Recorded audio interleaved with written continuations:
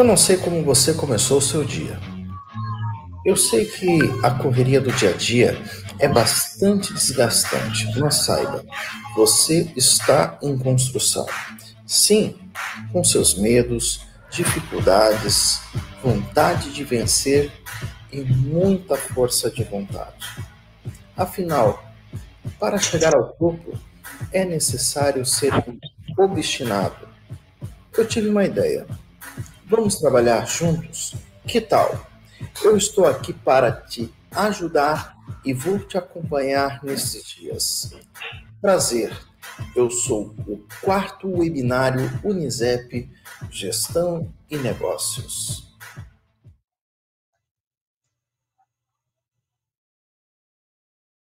Beleza. Vamos lá. É, vou pedir mais uma vez aí a gentileza de mutarem os seus áudios, pessoal, tá? Infelizmente, se a gente não conseguir aí a, a, o auxílio nesse, nesse quesito, eu ser obrigado a derrubar da sala, tá? Então, por gentileza, verifiquem seus equipamentos aí e mutem o áudio de vocês para não atrapalhar quem está querendo participar do evento. Uh, antes de uh, antes de a gente iniciar, uh, tem uma palavrinha da, da reitoria com relação à abertura do nosso evento aqui. Quero trazer para vocês. Uh, e logo depois, então, vou fazer a nossa, o nosso momento aqui né, com vocês, apresentar os nossos colegas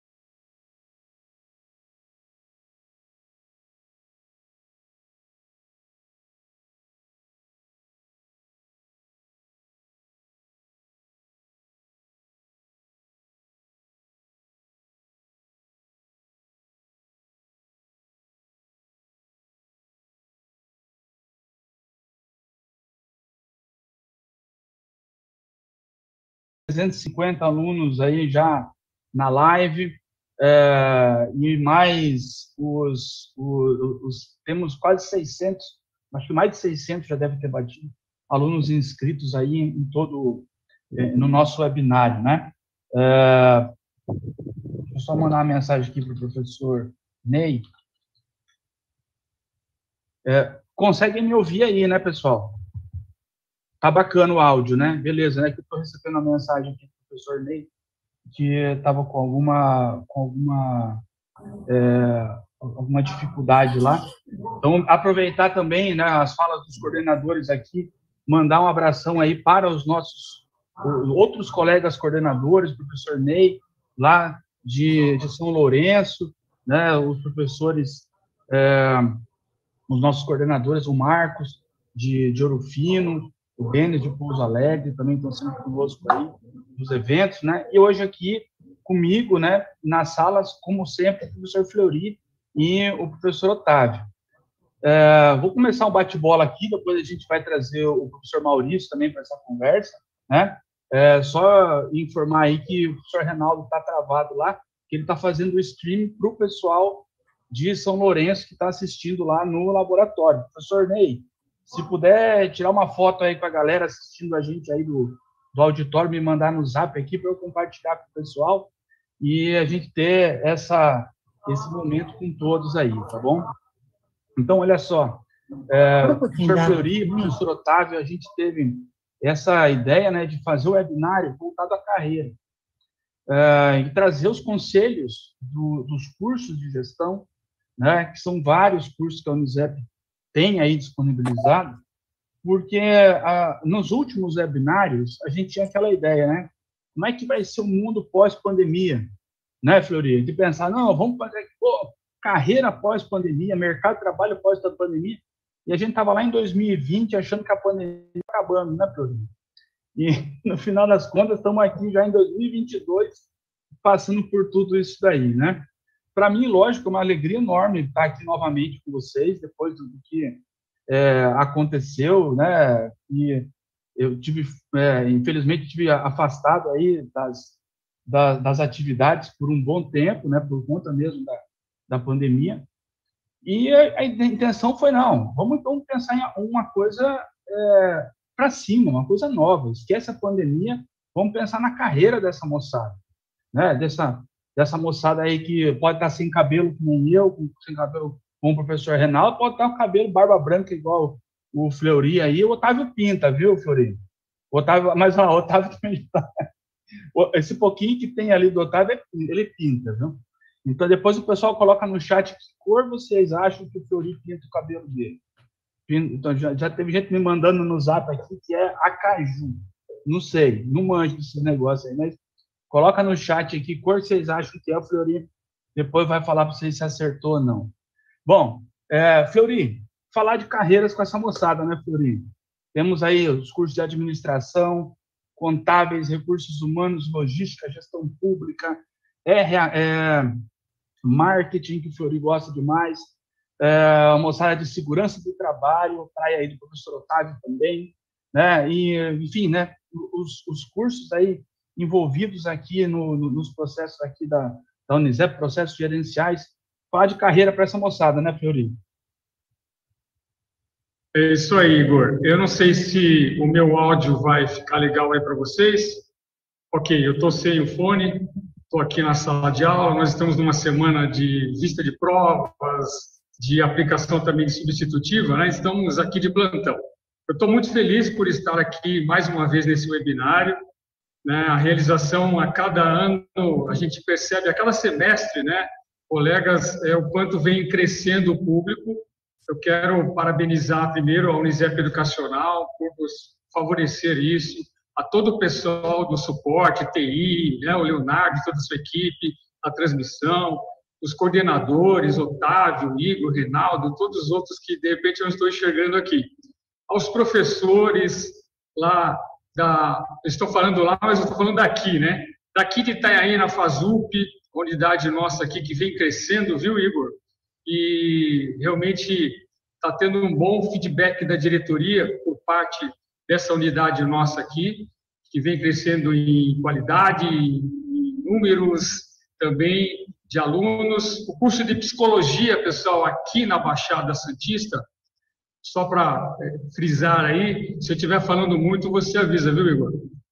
É, nós temos, acho que em Santos somente, o presencial. E agora, a Unisep Educacional está com o primeiro curso presencial de psicologia aqui em Itanhaém. Então, é de muito orgulho para nós aqui que somos moradores da região, como também para a Unisep Educacional. E a procura está sendo bem é, substancial, os alunos começaram já, as alunas e alunos começaram o curso. Bom, eu também quero agradecer pela pela temática, né, carreiras. Eu acho que eu, desde o tempo da faculdade, pensando em ingressar no universo ou na instituição superior, a minha preocupação maior era ou ter uma ascensão profissional na minha carreira ou conseguir um emprego melhor. E exatamente os alunos que fazem a diferença se aplicando, se moldando essa realidade do EAD, do mundo digital, mesmo nas nossas aulas presenciais, nós estamos aqui conectados, quase 400 pessoas, e aí você tem um conteúdo precioso aqui para você levar contigo. Eu relembro aqui, destaco, meus queridos amigos, alunos e a todos que estão conectados, preste muita atenção em tudo que nesses dias de segunda-feira até quinta-feira nós vamos ter de conteúdo. O know-how precioso para você como profissional e para você como pessoa. Então, eu quero aí desejar a todos nós umas noites maravilhosas dessa semana, né? Que possamos brindar com ovo de Páscoa no final de semana. Valeu, Flori. Brigadão. Legal, né? Eu saber que a instituição, é, a, a Unisep da Baixada é, crescendo, né, Flori? Eu tive, eu sempre falo isso, né? Tenho alegria de lá em 2011, né? O Flori já era velho naquela época. Lá em 2011, eu, eu ter a oportunidade de abrir os cursos aí de contabilidade, de administração, ciências contábeis, depois os cursos de tecnologia e, e também lá na lá na Fazup em Itanhaém. Então é muito bacana todo esse é, saber, né, que hoje está as coisas estão andando bem e essa é a intenção mesmo, né? Chamar nosso doutor Otávio para bater um papo também rapidamente aí, Otávio, sobre a, a importância né, dessa temática carreiras para os nossos alunos, né? O Otávio que é também coordenador de administração aqui da unidade de registro, né? E sempre está com a gente aqui nos nossos, no, nos nossos enfrentamentos aí. E, Otávio, vamos falar então, Otávio tem, né? Pô, currículo é, incontestável aí na área de administração. E aí, Otávio, vamos nessa então falar de, de carreiras para essa moçada.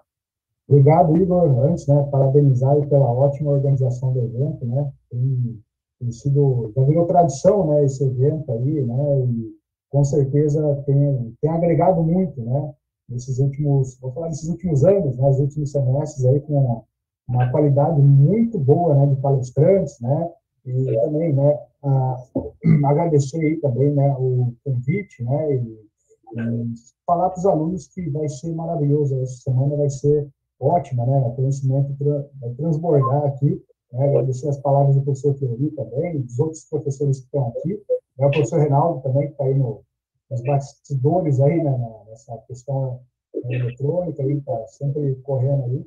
Então, é, eu queria falar a questão da carreira, né, é, é, um, é, um, é um dos pontos que às vezes a gente acaba é, menos falando, né, dependendo da situação, e que vai ser mais importante para o pro profissional. Né? Às vezes a gente fica focado muito na questão técnica, né?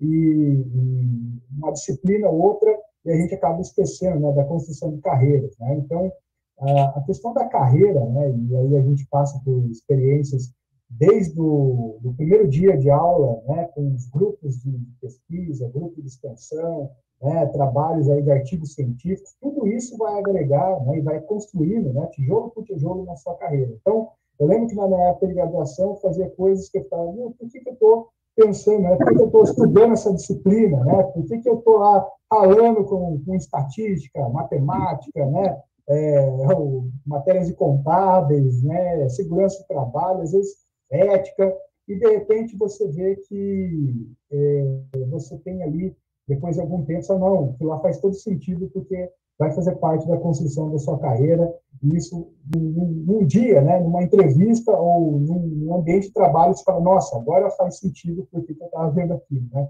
Então, é, os profissionais de gestão, né, no, no geral, é, têm essa capacidade né, interdisciplinar, multidisciplinar, né, tanto para se adaptar quanto para trabalhar em qualquer ambiente que, envolva gestão, né? Então, é, desde uma universidade, né, no, no setor público, no, como empreendedorismo, né, ou mesmo nas vagas de, de emprego né, que, se abrem aí, é, a questão da carreira é fundamental. Então, olhando né, esse rol de palestrantes que nós temos aí, é, acredito que muitos vão sair né, construídos aí, com uma nova percepção, né, uma nova perspectiva.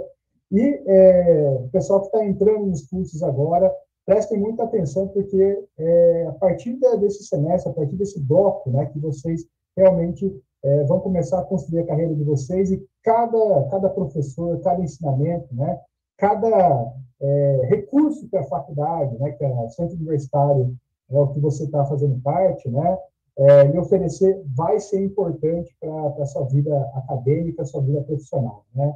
Então, fico muito feliz aí pela temática, né, parabenizo aí ao professor Igor pela organização, né, e todos os outros professores que estão aqui participando, né, e pode sempre contar comigo aí que estou à disposição. Obrigado, Igor. Valeu, obrigado, Otávio. Obrigado, Flori. Só fazer uma, uma, uma, uma comunicação aqui, né? Vendo bastante gente aí é, perguntando sobre o áudio, né? No canto inferior esquerdo da tela de vocês, tem um microfonezinho ali, né?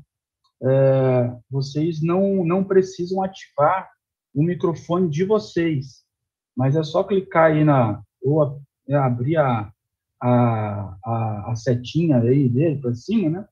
Que vai, vai aparecer aí o seu áudio para ouvir ou o seu microfone, tá? Então, é, só não habilitar o seu microfone, é o que eu estou pedindo aí para todos. É, e mais uma comunicação antes da gente chamar o professor Maurício. É, o pessoal está, ah, tem que colocar o nome, estou vendo gente colocar até o CPF aí no, no chat. Não façam isso, pessoal. É, conforme vocês receberam aí o e-mail aí da, da Simpla, o acesso, o login aqui na, na, na palestra já é o check-in de vocês, tá bom? Então não precisa colocar nenhuma informação aí, ah, eu sou não sei quem, do CPF tal, do endereço tal.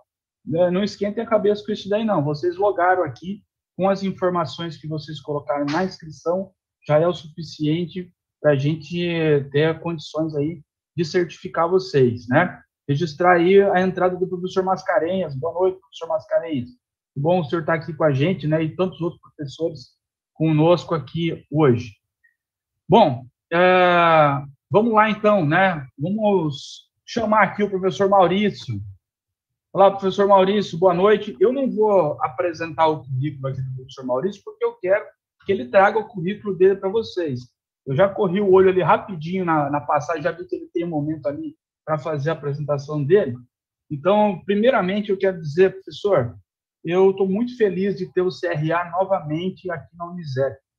Já tem alguns anos, como eu havia comentado com o senhor anteriormente, já tem alguns anos que a gente, é, por questões ou outras, a gente não, não, não, não teve esse contato do CRA nos nossos eventos aqui. E eu fico muito feliz mesmo de trazer novamente o CRA nesse momento em que eu tenho aqui sobre o meu bojo de coordenações tantos cursos relacionados à área de gestão e a importância que é o CRA estar aqui conosco, né, esses alunos terem contato com o CRA. Nesse ano teremos a primeira turma, agora no meio do ano, a primeira turma formada em administração da Unisep Educacional EAD, então, eu fico muito feliz de tê-los aqui novamente conosco. Muito obrigado, professor, por aceitar essa, essa empreita, esse momento. Né? É, e agora a palavra é do senhor, professor. Tenha, tenha tranquilidade, o professor me comentou anteriormente que precisava em torno de 120 a 150 minutos, né, professor, para fazer a introdução da palestra, né? Então, a palavra agora está com o professor Maurício. Novamente, muito obrigado, professor, eu, professor, eu, eu vou, eu, Fleury e o Otávio, a gente vai fechar a câmera e o áudio, mas ele vai ficar aqui do lado no chat, tá bom? Tá então, tá bom. se o professor quiser ler o chat respondendo ali, se não, terminando a sua fala, eu trago as perguntas dos alunos e a gente faz um bate-bola aqui, nós, nós quatro aqui, com, com o Fleury, com o professor Otávio, sobre as perguntas dos alunos a mim, tá ok? E para os alunos, é, eu peço para vocês que coloquem aí os seus questionamentos, né? O professor Maurício vai se apresentar aqui, vai falar sobre as áreas dele, a importância do CRA para vocês e coloquem aí, não tenham, não tenham vergonha, não tenham medo, coloquem as perguntas de vocês aí para o professor Maurício, para o CRA, para que a gente é, realmente aproveite ao máximo esse momento aqui. Obrigado, professor. Palavra com o senhor. Obrigado, boa noite. Primeiro, eu quero agradecer o convite, é uma honra também participar de um evento desse nível, né? Quero agradecer aí o convite, ao, o reitor, o, o, professor Fleury, o professor é, é, é Otávio, né? Professor Otávio, e você principalmente, professor Igor, pela organização e realização. É, a primeira coisa que eu posso falar sobre mim, é, é difícil a gente falar sobre a gente, né? Mas a primeira coisa que eu gostaria de falar é que eu sou formado em administração. Eu me formei há 46 anos atrás. Eu acho que a maioria das pessoas aqui não tinha nem nascido, né? E tenho também formação como técnico de contabilidade, mas aí eu terminei faz só 50 anos que eu me formei em técnico de contabilidade. É, já dá para perceber que eu uso plaquinha de idoso, né? Vagas preferenciais. Né? Mas eu continuo na minha carreira. É, eu sou aposentado do Banco do Brasil, é, me aposentei como gerente, eu fui gerente de negócios da região de Sorocaba. E eu tenho alguma né, experiência, muito mais pela idade né, do que talvez né, um pouquinho de sorte, né? mas eu tenho muita coisa que eu gostaria de, de trocar uma ideia com vocês. Com relação às perguntas, eu vou pedir para o professor Igor ir colecionando, porque às vezes as perguntas coincidem ou podem agregar, né? E no final a gente pode conversar, até porque eu não sei se eu vou ter resposta para todas elas. Eu vou falar de futuro, e quando a gente fala de futuro, para que cada um possa se preparar na carreira, é, eu acho que a coisa fica meio incerta, né? Então, eu quero compartilhar uma, uma apresentação do PowerPoint e a gente vai conversando, né? Aos pouquinhos eu vou tentar é, ir rápido para que a gente possa falar o máximo possível de assuntos e trazer informações, né? Principalmente com relação à profissão de administração e com relação ao conselho, tá? Então, é, depois só me confirme aí se está aparecendo já o, os slides? Então tá Então vamos lá. Meu nome é Maurício Delosso, eu sou formado em administração, é, tenho algumas pós-graduações, eu fui secretário municipal de parcerias em Sorocaba, eu fui juiz de prêmio de qualidade de gestão e atualmente eu estou é, como professor em curso de pós-graduação com a disciplina de criatividade, inovação e empreendedorismo. É, eu tenho né, por conta da experiência toda, e é uma coisa que eu vou aconselhar todo mundo a, a fazer, é escutar, escutar e escutar. Vamos ouvir as pessoas, o que, que eles têm para agregar, né, informações. Na época que eu era gerente do banco, eu ouvi muitas histórias de, de, de empresários, né, de coisas que deram certo e coisas principalmente que não deram certo. Tudo isso serviu né, para que eu me tornasse um, um consultor Agora, não adianta eu pensar só no que eu ouvi, né? Eu tenho que estar sempre me preparando e pensando no, no futuro. Eu já tive empresa de consultoria, já trabalhei com uma empresa de, eh, de energias limpas, né?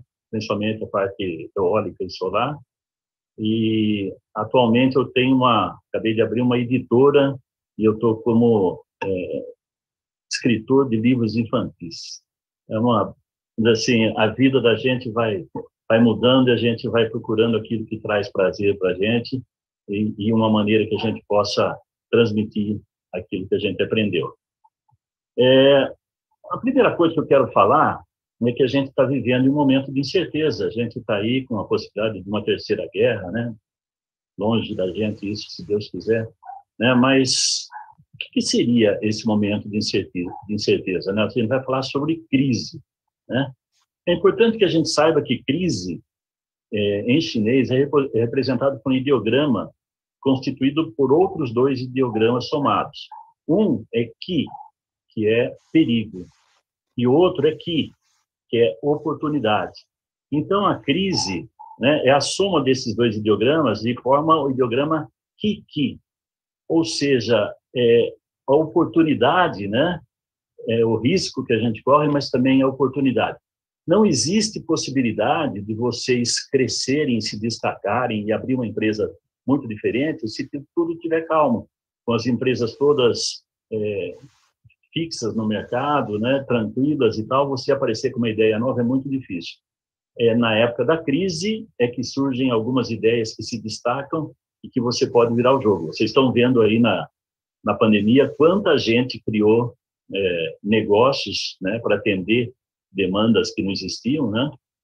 E aproveitando a crise, né, para fazer a diferença. Então, vamos falar um pouquinho das oportunidades que estão aparecendo no pós-coronavírus, né? Todas as crises, provocam mudanças, todas, né? Se eu pensar em 90, o plano Collor, que teve confisco de poupança e hiperinflação, provocou mudanças na maneira das pessoas pensarem nos seus investimentos. É, em 2001, né, nós tivemos o ataque às Torres Gêmeas e o terrorismo, crise econômica, crise de confiança. Quanta coisa mudou por conta dessa situação, dessa crise nesse momento. Em 2008, nós tivemos colapso no sistema financeiro global, mudou, mudou muita coisa nos bancos. Né? É, uma coisa que surgiu nessa época foi a economia de divisão, então, as pessoas começaram a, a dividir suas casas, o Airbnb, você coloca sua casa para alugar, em vez da pessoa ir para um hotel, vai no Airbnb. O Uber, a pessoa coloca o seu carro né, para trabalhar como táxi, né, dividir aquele seu carro com outras pessoas. Então, já é um novo tipo de economia que está surgindo. E agora, 2020, pandemia, isolamento, economia totalmente parada, vai provocar muita mudança, além do que já provocou. Né? Então, quantas crises vocês que estão ouvindo aí, né, assistindo, escutando, acreditam que vão enfrentar ao longo da sua carreira? Né? Vocês têm que pensar que vocês estão com 20, 30 anos e que vocês vão viver mais 70, 80, até porque com o avanço da tecnologia, a expectativa de vida para os jovens de hoje é viver até os 120, 140 anos. Então, quantas crises será que vocês vão passar? E as crises mudam o curso da economia, mudam as indústrias, os comércios, serviços, né? E principalmente, as crises mudam as profissões, o curso das profissões, que é o que a gente está pensando em conversar mais profundamente, a parte da profissão e de carreira, né? 11 de setembro mudou regras de segurança na aviação para você embarcar num, num, avião no aeroporto, você tinha regras rígidas de, de, de segurança, né? É, depois da Segunda Guerra Mundial, as mulheres ingressaram no, no mercado de trabalho, isso mudou profundamente né, o mercado de trabalho. A, a síndrome de respiração, né, é, a SARS, é, fez expandir o e-commerce. É, todo mundo, para não se expor à gripe, né, é, começou a usar compras pela internet. 2002, 2003, a SARS na China, né, houve a criação do Alibaba e do Taobao. É, então, as pessoas começaram a comprar diretamente pela internet, receber em casa né, produtos sem ter que se deslocar a uma loja. Né? E com a Covid 2019, né, o que, que vai mudar? E qual vai ser a, o papel do administrador na atual situação econômica. Eu estou falando de administrador, porque eu estou falando em nome do conselho, mas eu quero incluir todos os cursos de gestão, eu quero incluir curso de contabilidade, segurança de trabalho, de todo mundo que está ouvindo. É lógico que eu vou falar um pouquinho mais da situação do administrador, mas eu acho que vai servir para todo mundo. Né? Então, o que muda? Muda a gestão de pessoas? Será que muda? Pessoas. Será que muda como eu vou motivar as pessoas? Aí era a distância. Os clientes mudaram, vão mudar. Os produtos vão mudar.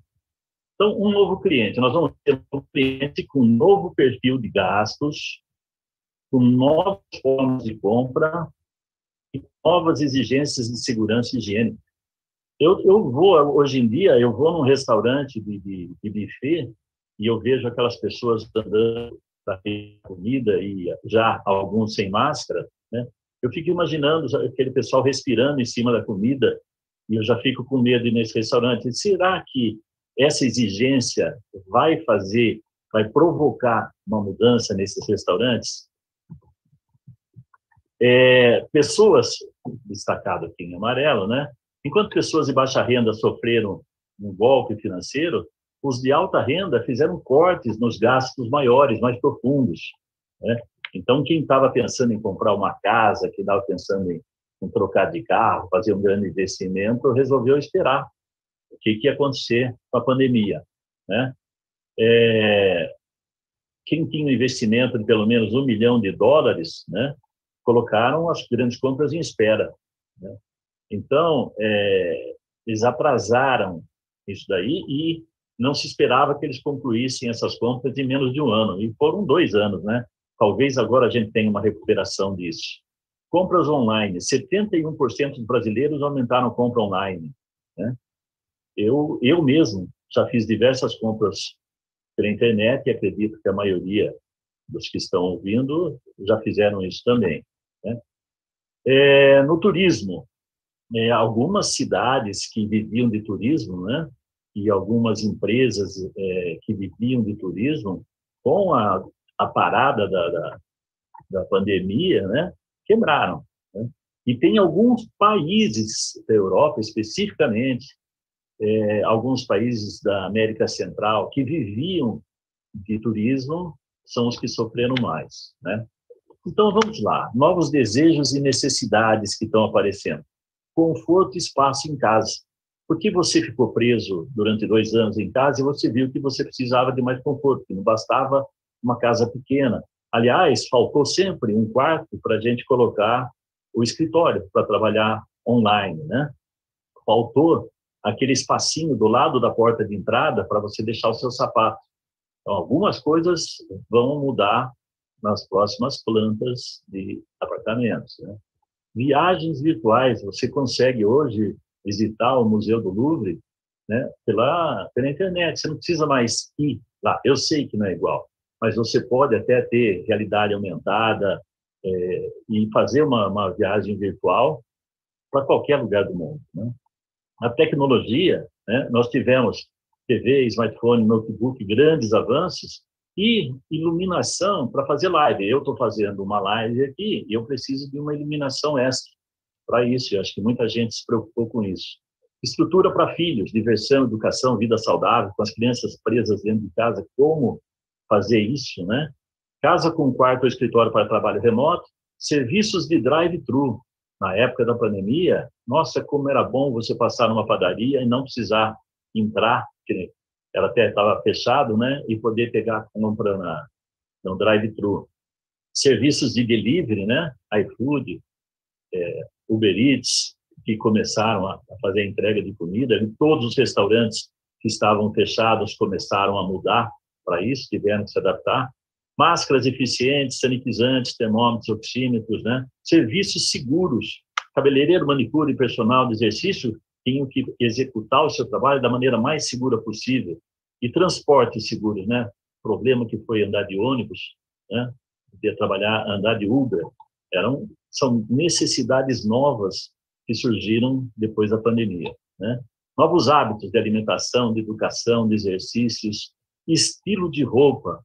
É, quem estava acostumado a trabalhar com roupa de administrador, né, às vezes até com uma gravata, começou a trabalhar em casa, muitos de pijama, né, até só com uma, uma camiseta em cima, uma camisa e de bermuda embaixo, né, mudou o estilo de roupa. Os horários é, ficaram livres em muitas empresas de você trabalhar e produzir a hora que você quisesse. Cozinhar ou comprar comida. Como aumentou o número de pessoas assistindo cursos de cozinha né, na, na TV e tentar cozinhar em casa, aumentou. Veja o mercado que cresceu aí, né, de, de instrumentos e ferramentas de cozinha, né, pessoas que compraram, compraram panelas especiais, facas especiais, né, pensando em cozinhar, e cuidadores de idosos ou creches, né, casa de repouso, é, é uma área que tá, é, teve muita dificuldade, né, porque você tinha que ficar com o idoso em casa, não dava para colocar em lugar nenhum, as creches não podiam funcionar, e teve muita dificuldade com isso e como né, atender as necessidades dos idosos em casa. O novo cliente participando de, de evento, né, como que o cliente de restaurante irão se comportar? Eu estou vendo uma pequena volta nos, nos restaurantes, mas eu estou vendo gente, algumas pessoas chegam de máscara, é, tem preocupação no tipo de comida que vão pedir. Balada, né? Como é que a criançada vai na, na balada? Desculpa, criançada, que minha idade, todo mundo parece criança para mim. Como os clientes de teatro, de show vão se comportar? Tinha aquela divisão, cadeira sim, cadeira não, né? Como é que ficar preso dentro de um, de um cinema, né? Os torcedores de esporte, né, já estão se juntando, mas como é que isso vai ficar se houver uma retomada, né? Como que seria casamento, aniversário, churrasco, formatura, velório, evento religioso? A gente sabe que velório, às vezes, foi limitado o número de familiares que, que iam participar, né? Será que vai aumentar o número de, de cremação, por exemplo, né? É, palestras, é, é, ao invés de eu ir num, num local para fazer palestra e reunir os alunos no, no, auditório, por exemplo, hoje em dia é o mais comum é fazer de forma virtual, fazer essa webinar, né? E a gente tem possibilidade de conversar com gente de todas as regiões. Né? Novos produtos, novos desejos, novas necessidades, novos hábitos, novos processos, nova logística. O pessoal de logística que está aí. Né? É, nos novos processos, processos da indústria, no comércio, serviços, o deslocamento e transporte deve mudar bastante, a gente vai falar sobre isso. Atendimento virtual, telemarketing, acredito que está todo mundo recebendo ligações a cada hora, né, recebendo ligações de tentativa de vender planos de, de telefonia, de TV, marketing digital. A gente tem recebido marketing direto no, no, nos nossos é, celulares, né? Você, você fala de um assunto, daqui a pouco você vai olhar lá no Facebook e tem uma propaganda do produto que você falou. Aí você fala assim, nossa, que coincidência. Não é coincidência, né? os seus microfones estão ligados, mesmo que ele esteja apagada a luz, seus microfones estão ligados, estão transmitindo, né? A sua procura de rede de Wi-Fi, mesmo que você não conecte, ele identifica aonde você está. E se você passou numa loja e entrou numa loja, mesmo que você não se conecte, que esteja desligado seu celular, ele vai avisar ao Google onde você esteve e daqui a pouco chega uma propaganda para você, direto para você. Nova logística, né? Delivery, correios, drones para entrega, né? E como que entrega show hoje em dia, né? Teatro, tem muitos shows sendo entregue através de live. É, e, e, com cobrança. Teatro que você paga o ingresso e assiste pelo seu computador, né? Novos produtos que surgiram, máscaras, respiradores, vacinas, sanitizantes, jantar com live chat. Esse jantar com almoço o almoço com live de chefe, eu ganhei do, do, Dia dos Pais, eu ganhei do meu filho uma, uma cesta com todo o material para fazer uma paeja, fazer uma entrada, um bife tartar de entrada, uma sobremesa, todo o material picadinho, cortado, é, cerveja, seis tipos de cerveja, uma coisa maravilhosa. E um, link para acesso, e tinha um chefe e um, alguns músicos ficavam tocando música, e falava, agora tome aperitivo tal, come isso, mistura assim, e vamos começar a cozinhar e prepara. Foi um dia de aula, né, como um presente. Drive-thru de shop, isso é bom, e novos aplicativos. Por exemplo, você criar o seu próprio emoji, né? Então, os funcionários de hoje, de ontem e o do amanhã tem muita diferença. A gente lembra do Taylor, da administração científica, que tentavam fazer tudo né, igual e de maneira que desse para medir tempos e movimentos, né, para otimizar, que o mais importante era a produtividade.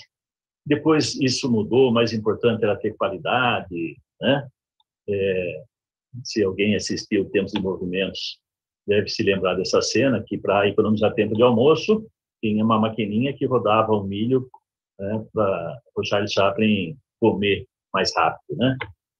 É, o novo funcionário, né? Que tipo a gente vai precisar de funcionário? O que será que motiva os jovens de hoje? Né? Trabalhar na Google, que você pode andar de, de skate dentro lá, tem é, rede, tem é, geladeira aberta com chocolate à vontade, O que você quiser, só tem que atender a meta. Se você quiser passar o dia inteiro na rede descansando comendo chocolate, você vai. Desde que cumpra a meta no final do mês, né? E tem muita gente que se adapta a isso. Nós vamos falar de, de, de algumas gerações que você já deve ter ouvido. A geração Baby Boomer são aquelas pessoas que nasceram depois da Segunda Guerra Mundial. Os soldados, as mulheres, né, não não tinham filhos, os soldados estavam todos lutando na guerra. Quando acabou a guerra e eles voltaram para casa, houve uma explosão de crianças. É a geração Baby Boomer. Eu me considero como geração Baby Boomer. Né? E... Brincando as telas. Vou pedir até para desligar o, o, microfone quem estiver ligado aí. É, essa geração, a geração do paz e amor, né? eu sou conservador, acho. E adoro, adoro um cargos com segurança. Na minha época, eu fui fazer concurso do Banco do Brasil. Por quê? Porque eu queria segurança. Hoje em dia, não existe mais isso. Né? Hoje em dia, e os jovens não querem mais isso também. Né? Mas essa geração do Baby Boomer é uma geração que queria. Depois surgiu a geração X, que nasceram de 60 a 82. Limites para dedicação, menos leais às empresas, líderes monitores e recusam autocratismo, né? Eu acho que não deve ter muita gente assistindo que seja dessa geração X. A geração Y, que eu acho que tem mais gente aqui presente, é quem nasceu entre 82 e 90. Esse pessoal não utiliza manual, é a geração do tentativa e erro. Quem é de vocês que quando compra um celular lê as instruções? Quem é de vocês que quando instala o microondas em casa lê as instruções? A maioria é tentativa e erro. Vai lá e liga e tem que ser é, facinho de, de funcionar, né? Para que você o manual. Geração do improviso, familiarizados com a tecnologia, não aceita autoritarismo e o funcionário chega para ele e fala assim: "Ah, posso sair mais cedo hoje Essa geração, né? É, depois vocês me avisam aí, deu um sinal de, de internet, que problema, mas vocês me avisem se alguma coisa do som sumir aí. É, são líderes tá generosos. tranquilo, professor, tá tranquilo. Oi? Tá tranquilo. Então tá bom. É, a geração Z é de 91 a 2010. Aí já tem bastante gente. Dinâmicas inovadoras, convivem com a tecnologia e a ciência conhecida como nativos da internet. Fazem diversas tarefas ao mesmo tempo são imediatistas. Né? Críticos mudam de opinião. Só para vocês terem uma ideia como é ser imediatista, eu conheço gente que entrou numa empresa para trabalhar, três meses depois foi reclamar para o superior por que, que não tinha sido promovido, que ele acha que ele poderia ser diretor da empresa, né? E por que, que não tinha recebido aumento, com três meses de empresa. São imediatistas. Preocupados com questões ambientais, é, esses jovens não vão trabalhar numa empresa que não tenha preocupação com questão ambiental, não vão comprar se a empresa não tiver alguma coisa de preocupação ambiental. E serão profissionais mais exigentes, versáteis e flexíveis, né? Essa geração Z, né, que a mãe coloca o telefone, colocava o telefone na barriga já para a criança ir aprendendo a, a conversar com o pai pelo celular. A geração alfa, que é essa criançada hoje em dia, eu tenho um amigo que tem um, um filhinho de um ano e meio e ele chegou para o outro amigo, olha, meu filho tem um ano e meio, não sabe falar ainda, mas ele já fica no, no joguinho aqui, ele já sabe jogar. Aí o, o outro amigo perguntou para a criança, falou assim, você sabe o jogo do macaquinho? Criança não sabe falar ainda. Sabe o jogo do, do macaquinho? A criança foi lá no Play Store, procurou o macaquinho, baixou o jogo um ano e meio, sem falar, meu pai ficou assustado, foi lá ver, ele já tinha baixado seis jogos com custo de pequeno, seis, sete reais, mas ele já estava baixando. Geração alfa, né? Característica dessa geração. Criançada que está com 10, 12 anos hoje, como será que eles vão ser para trabalhar, né? E a pergunta de um milhão, e, um milhão de dólares, né? Essas gerações, Baby Boomer, X, Y, Z, Será que as características que eu falei aqui, antigas, vão permanecer? Será que eu, da Baby Boomer, vou continuar conservador com todas as mudanças? Será que vocês, quando forem gerenciar pessoas dessas gerações todas misturadas, vocês vão saber o que motiva cada um deles e se as motivações continuam as mesmas depois da, da Covid, né? Isso é uma pergunta para vocês pensarem. Essa geração pós-Covid, vai existir essa geração? Meu neto, por exemplo, que é, chega na escola é, ainda essa semana, ele chegou na escola, ele falou, vô, cadê e minha máscara? Mas eu falei, não tem mais nenhuma criança lá dentro com máscara, pode entrar assim. Não, eu vou entrar de máscara. Então, como é que vai ser essa geração no futuro, as exigências deles, né? O que, que eles aprenderam? E o trabalho remoto? Né? Olha só, né? já imaginaram você com uma parede que você muda o ambiente, você trabalha de frente para uma paisagem, para uma praia, para uma montanha, para um canyon, né? É, hoje em dia, as pessoas não têm mais encontro de, de vendedores na, em, em, Fortaleza, por exemplo. Né? Você faz toda a reunião hoje é, pela internet. Né? Você fala pelo WhatsApp com várias pessoas. Né?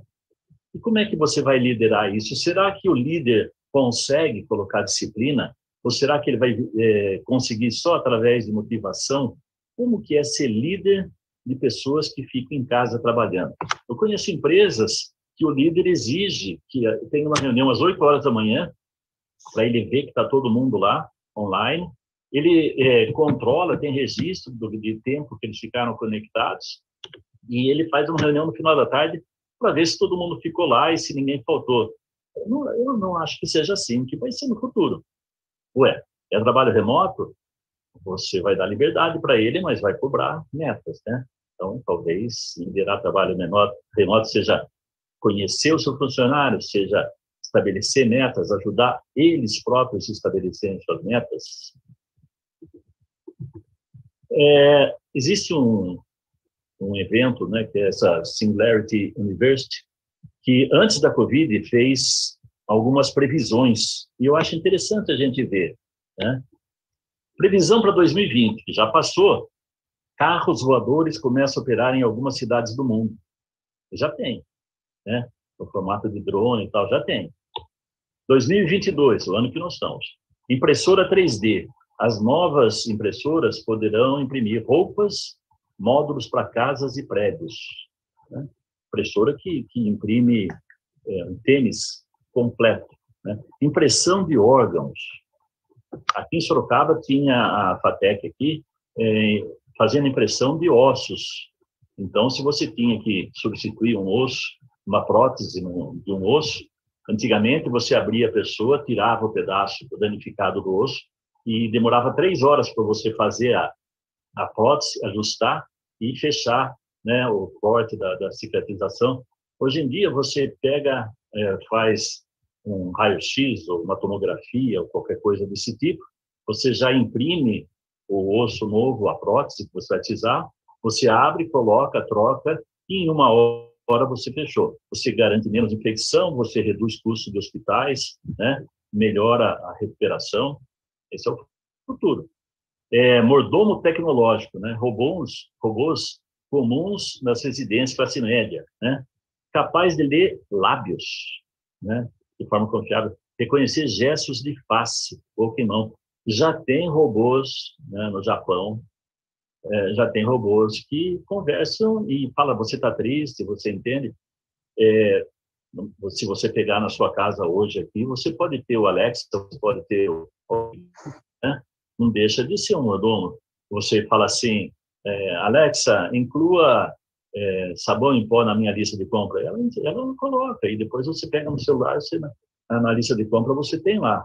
2024, será rotineiro ver drone entregando pacotes em telhados e janelas, né? E robô terrestre entregando também, diretamente. Então você pede uma pizza, em vez de vir um motoboy, vem um drone para te entregar.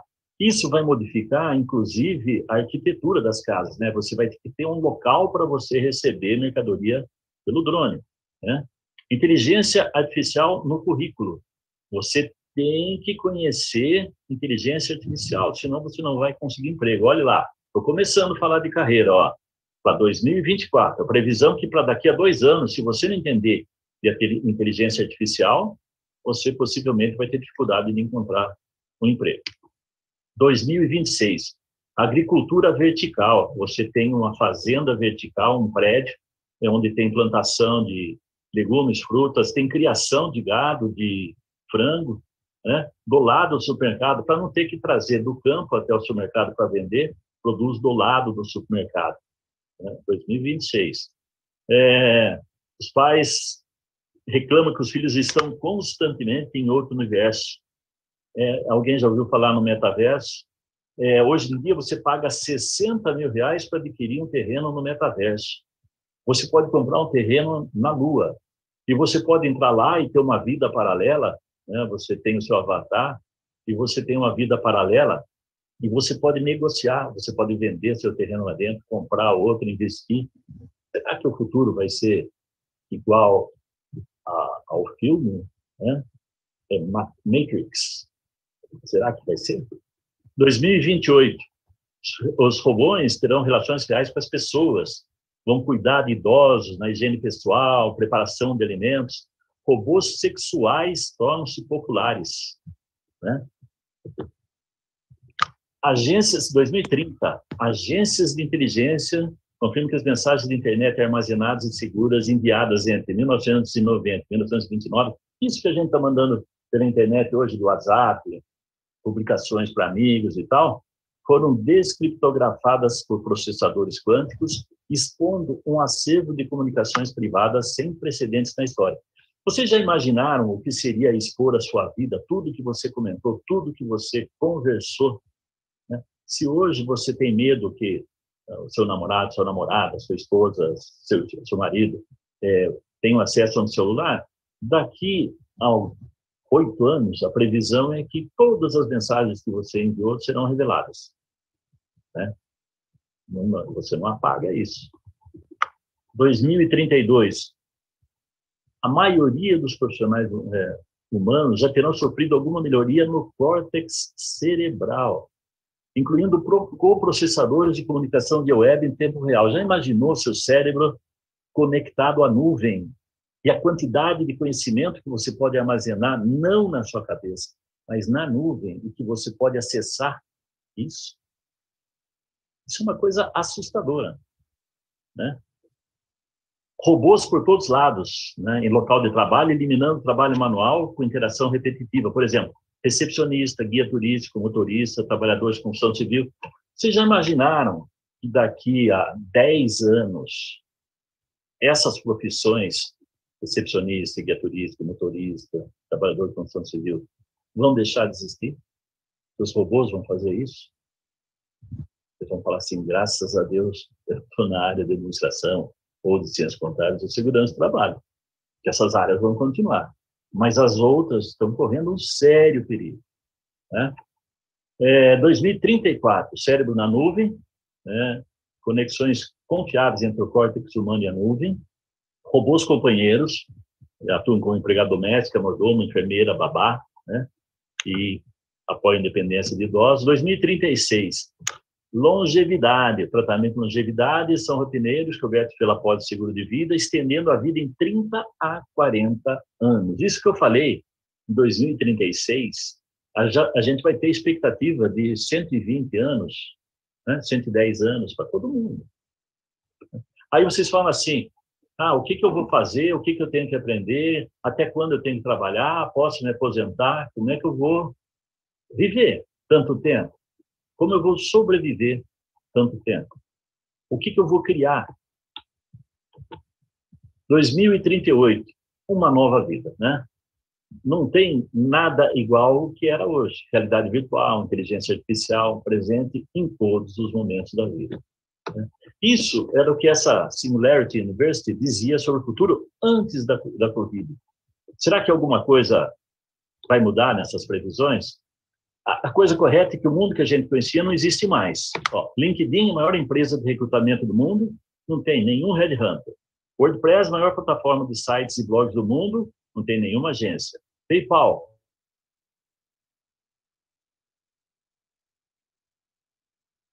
tem outros hoje, PicPay, um monte de outros. No e-mail, o e-mail substituiu correspondência sem usar nenhuma folha de papel. O Google vale mais que todas as empresas listadas na Bolsa de Valores brasileiras juntas. Está tá tendo juntas aqui, desculpe. Apenas organizando resultados de busca. O WhatsApp foi responsável pelo desligamento de 10 milhões de linhas telefônicas celulares em apenas cinco meses no Brasil, em 2015. Olha, quanto telefone, quem vivia de telefonia celular, né? o pessoal está usando só o WhatsApp agora, ninguém usa mais telefone.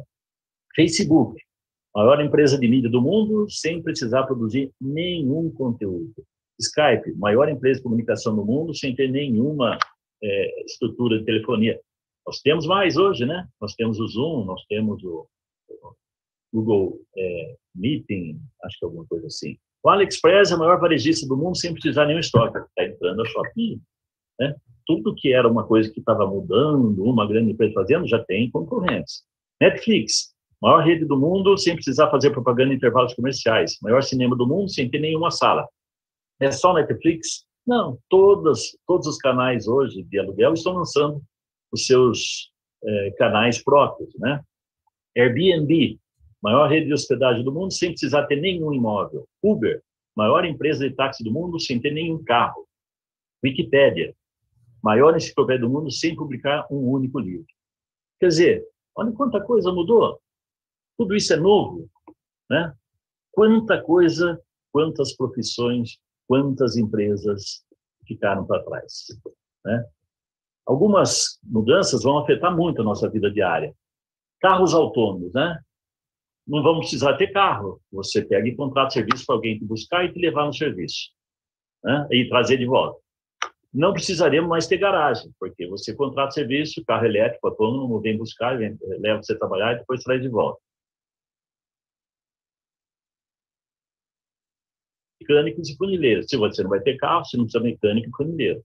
Não precisa fazer seguro de carro, assim, gasolina e serviço, né? Serão carros elétricos. E eu não vou ter que abastecer, a empresa lá que vai abastecer. Né? Profissão de motorista de ônibus, táxi, caminhões e ônibus, né? Todos autônomos. Não precisaremos aprender a dirigir, nem ter carteira de motorista. O meu neto talvez não precise ter carteira de motorista, ele talvez não precise aprender a dirigir nunca. O que acontecerá com a fábrica e loja de autopeças? Se autopeça hoje um carro mecânico tem 3.500 peças, um carro elétrico tem 300 peças só. As indústrias de autopeças vão sobreviver? E se não mudarem logo, né? O que vai acontecer com elas? Então, carro autônomo, né? Caminhões, motoristas, Aí surgem pequenos problemas né, de ética. Você tem um carro que pode é, desviar de um grupo de pessoas e matar pessoas mais idosas, né, porque deixar os jovens vivos, né, e ou pode matar os, os jovens e deixar os idosos, ou ele pode proteger você e matar as outras pessoas para você não morrer dentro do, do carro, né? Isso tudo é programação. Quem é que vai fazer essas programações? Como que vai ser a ética disso? Os problemas começam a surgir. É, cego vai poder dirigir? Vai. Você coloca é, no seu GPS lá, né? Os carros hoje dizem se você está se aproximando, onde está, né? Sinalização de trânsito vai precisar? Não, né? Motel vai precisar? Estacionamento, esses grandes estacionamentos, para quê? Ninguém vai ter carro mais. E as impressoras 3D, né? Dá para imprimir prato, copo, garfo, colheres, facas, sapatos, tênis, óculos, colares, brincos, alimentos, ossos para transplante, peças de carro, estações orbitais, tudo. Você pode ter uma impressora em casa e você não precisa mais comprar prato, copo, garfo, você imprime. A mulher não precisa mais comprar brinco, colar, não precisa. Óculos, eu não preciso comprar mais, eu imprimo meu óculos em casa. Né? E essas indústrias que fazem isso, como é que vão ficar? Próteses, impresso em 3D, não precisa engessar o braço mais, né? Facilita até a aplicação de remédios, né? Aqui, ó, tem uma pessoa com paralisia cerebral, o músculo vai se contraindo e vai virando a mão para dentro. Você coloca uma, uma prótese que regula a pressão e evita, né, que a sua mão dobre, né? Prótese para cachorros impressos em 3D, mãos mecânicas, né? Eu vi o professor, o pianista João Carlos aí tocando com uma luva dessas, né? Voltou a tocar piano. Impressão de órgãos, né? Impressão de, de coração artificial, de orelhas artificiais, né? Para quem não consegue segurar uma caneta, pele viva com vasos sanguíneos impressa em 3D. Se você tem problema de queimadura precisa fazer transplante, você imprime uma pele para você. Aplicação de remédios, diabetes e outros, né? Tênis impressos totalmente por 3D, copos impressos 3D. Aqui vocês estão vendo do lado esquerdo uma máquina que tem um monte de laranja numa circular lá, que vai espremendo as laranjas para fazer o suco. E do lado direito, você tem uma impressora 3D produzindo o copo com a casca da laranja. Então, a hora que espreme, pega aquela casca, moe, mistura com cola e imprime o copo que você vai tomar o suco e você toma o suco sem precisar de copo descartável. Né? É, impressora de sushi. Você faz sushi da, da, no formato que você quiser, sempre igual, igualzinho, né? É, aqui eu tenho alguns biscoitos, né? Impressão de pizza. Vocês já imaginaram isso? Imprimir pizza, né? Você imprime pizza. Você não precisa mais pedir pizza em, em casa. Você imprime. Você tem uma impressora lá que imprime comida. Você tem ah, os tubinhos lá de cada tipo de alimento, de queijo, de massa, de tal. Você imprime sua pizza, né? Você imprime comida infantil, bichinhos para as crianças comerem. Imprime hambúrguer, né? Com queijo, com salada, tudo. Né? Você imprime esses petit fours. Isso já existe no Japão. Café, tudo que eu estou mostrando já existe, tá? Café que você pega e tira sua fotografia e imprime em cima do café a imagem sua, ou do que você quiser para você tomar o café, né? Impressão de casa. Eu não preciso mais construir parede. Eu ponho uma impressora grande lá e eu imprimo as paredes. Eu imprimo minha casa. Imprimir champignon. É, e vai ter uma profissão nova, food design. Quer dizer, vão ter as pessoas que vão desenhar isso para colocar isso no programa do computador para imprimir. Dessa forma, são é, profissões que vão surgir impressão de aço. Um carro inteiro pode ser impresso numa impressora 3D. Estações orbitais, né? É, eu, eu não preciso mais preocupar que eu tenho que levar material para montar uma casa lá na, no espaço. Né? Eu levo uma impressora 3D e resina e aço e tudo e eu imprimo o que eu quiser lá, né? Se eu tenho estação orbital, se quebra uma peça, eu não preciso pegar um, um, um foguete e levar. Eu pego e imprimo lá as peças que eu preciso, né? Então, algumas profissões pode ser que não existam no futuro, ó, médico, engenheiro, advogado, motorista, mecânico, professores, porque tudo que a máquina puder fazer vai ser feito pela máquina, né? Médico hoje já tem programa de computador que receita, engenheiro, o computador faz tudo, advogado, juiz, você joga o problema para lá, ele procura a legislação e já dá a decisão. Professor, Professor, é, vai ter um professor que dá aula para o Brasil inteiro, né, as pessoas com realidade virtual, e os avatares vão cumprir isso, né, fim da, da, da profissão, talvez. Mecânico, né, olha só, ele pega lá, ele tem um, uma TVzinha e fala assim, aperta aqui, não precisa nem aprender a ser mecânico, ele conserta, troca a peça e acabou. Motorista à distância, vocês já imaginaram isso? Você tem um carro, autônomo, mas você vai viajar para uma região que não existe GPS, não tem plano, não tem o Google Maps, e você contrata o motorista para dirigir o carro para você. Ele dirige a distância e leva onde você quiser. Então, 80%, olha, isso aqui é a coisa mais importante que eu vou falar. 80% das novas profissões que existirão em 10 anos ainda não existem. Tá? 80% das novas profissões que existirão em 10 anos ainda não existem.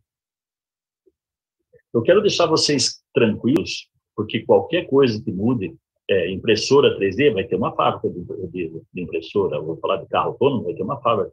Então, sempre vai ter serviço para os administradores. A parte de, de contabilidade, né, não adianta a máquina fazer contabilidade. Quem está estudando contabilidade sabe que a máquina, às vezes, faz tão automaticamente que pode haver bitributação. Então, vão ter que fazer consultoria e análise disso daí, fazer controladoria das empresas, né? parte de segurança do trabalho, talvez tenha que se especializar em problemas psicológicos que as pessoas vão trabalhar em casa e a segurança trabalha em casa, né? Mas a administração vai continuar de qualquer maneira. Tudo que tem a ver com pessoas, logística, recursos humanos, produção, tudo isso está na mão dos administradores. Só que a gente tem que começar a enxergar para frente. A gente tem que pensar como vai ser a empresa para frente. A empresa que eu estou trabalhando hoje, como que ela vai ser se ela quiser sobreviver, né? Profissões do futuro, né? Então a gente vai precisar de pessoas que pensem fora da caixa.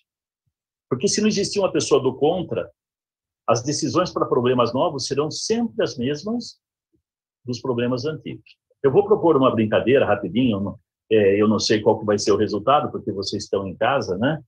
É, eu vou pedir participação de vocês. Faz de conta que vocês estão numa palestra presencial dentro do auditório e eu vou fazer uma pergunta e vocês vão responder em voz alta em casa, né? Mesmo não precisa ligar o microfone não.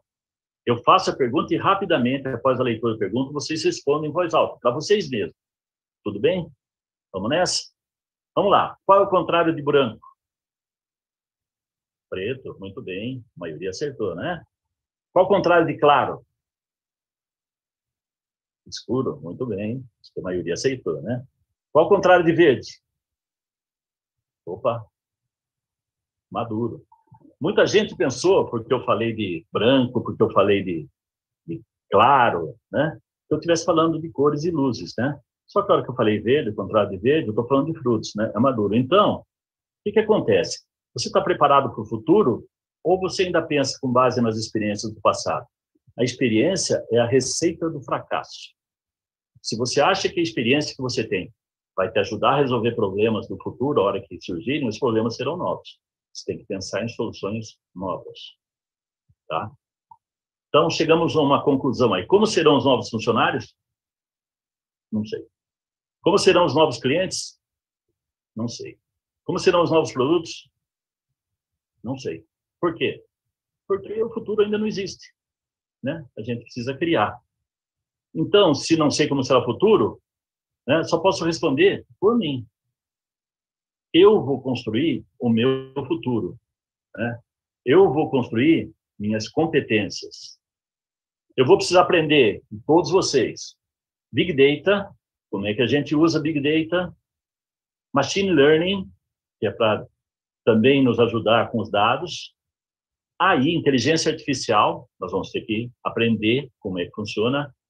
Inteligência nas coisas, Internet of Things, IoT, né? Aquela geladeira. Olha, eu recebi um, um link de uma um carrinho da Amazon que você pega o produto, coloca dentro do carrinho, ele já lê e já pesa, já calcula o preço e já diz para você quanto está gastando. Se você tirar aquele produto de dentro, ele tira. Né? Isso é IoT. É, geladeira que tem aquele display na porta que diz o que tem, o que está vencendo, IoT. Impressão aditiva é impressora 3D, né? Você vai adicionando material e imprimindo em 3D. Vamos ter que aprender sobre isso. Lidar com os jovens, como é que vocês vão liderar se vocês entenderem quais são as motivações deles. Habilidades cognitivas, como é que vocês vão fazer para aprender? Ou vocês vão ficar esperando só comprar o conhecimento para a nuvem, né? e adaptabilidade a todas essas mudanças, né? Então, será que a gente consegue imaginar o futuro? Como é que vai ser energia, como é que vão ser os alimentos, como é que vai ser método de produção, mecanização, fazendas verticais, se vai ter carne, se nós vamos comer proteínas, vamos comer insetos, se vai ser produzido em laboratório, carne produzida em laboratório, se nós vamos sobreviver de, de pílulas, né? Se, como é que vai ser distribuição de comida, se a gente vai comer um, é, big, big, big Mac, gente passando fome do outro lado do mundo, porque tem dificuldade em distribuir, né? E as profissões de futuro? Cuidadores de idosos, agrônomos, perdão, vamos voltar aqui.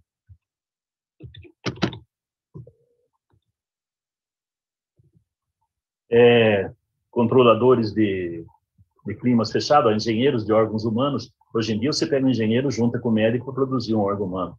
Vai ter, talvez, um profissional específico para isso engenheiro de clima controlado. Vocês estão vendo aqui, à direita em cima, é uma cidade flutuante que você ancora, que nem a foto embaixo na direita, na frente de alguma cidade litorânea, e você trabalha, vive, produz, fica lá. A hora que tiver ruim a cidade ali, você muda a sua cidade de local, né?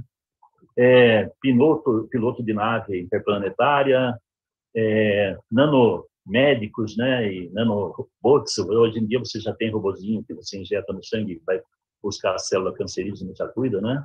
Inspetor de cybercrimes, né? Gestor de resíduos, a gente produz um quilo e meio de lixo por dia. Né? Onde, vai, onde a gente vai jogar isso? E quem vai construir e administrar o futuro? Quem vai administrar uma fábrica totalmente automatizada? Automatizada? Um administrador. Né?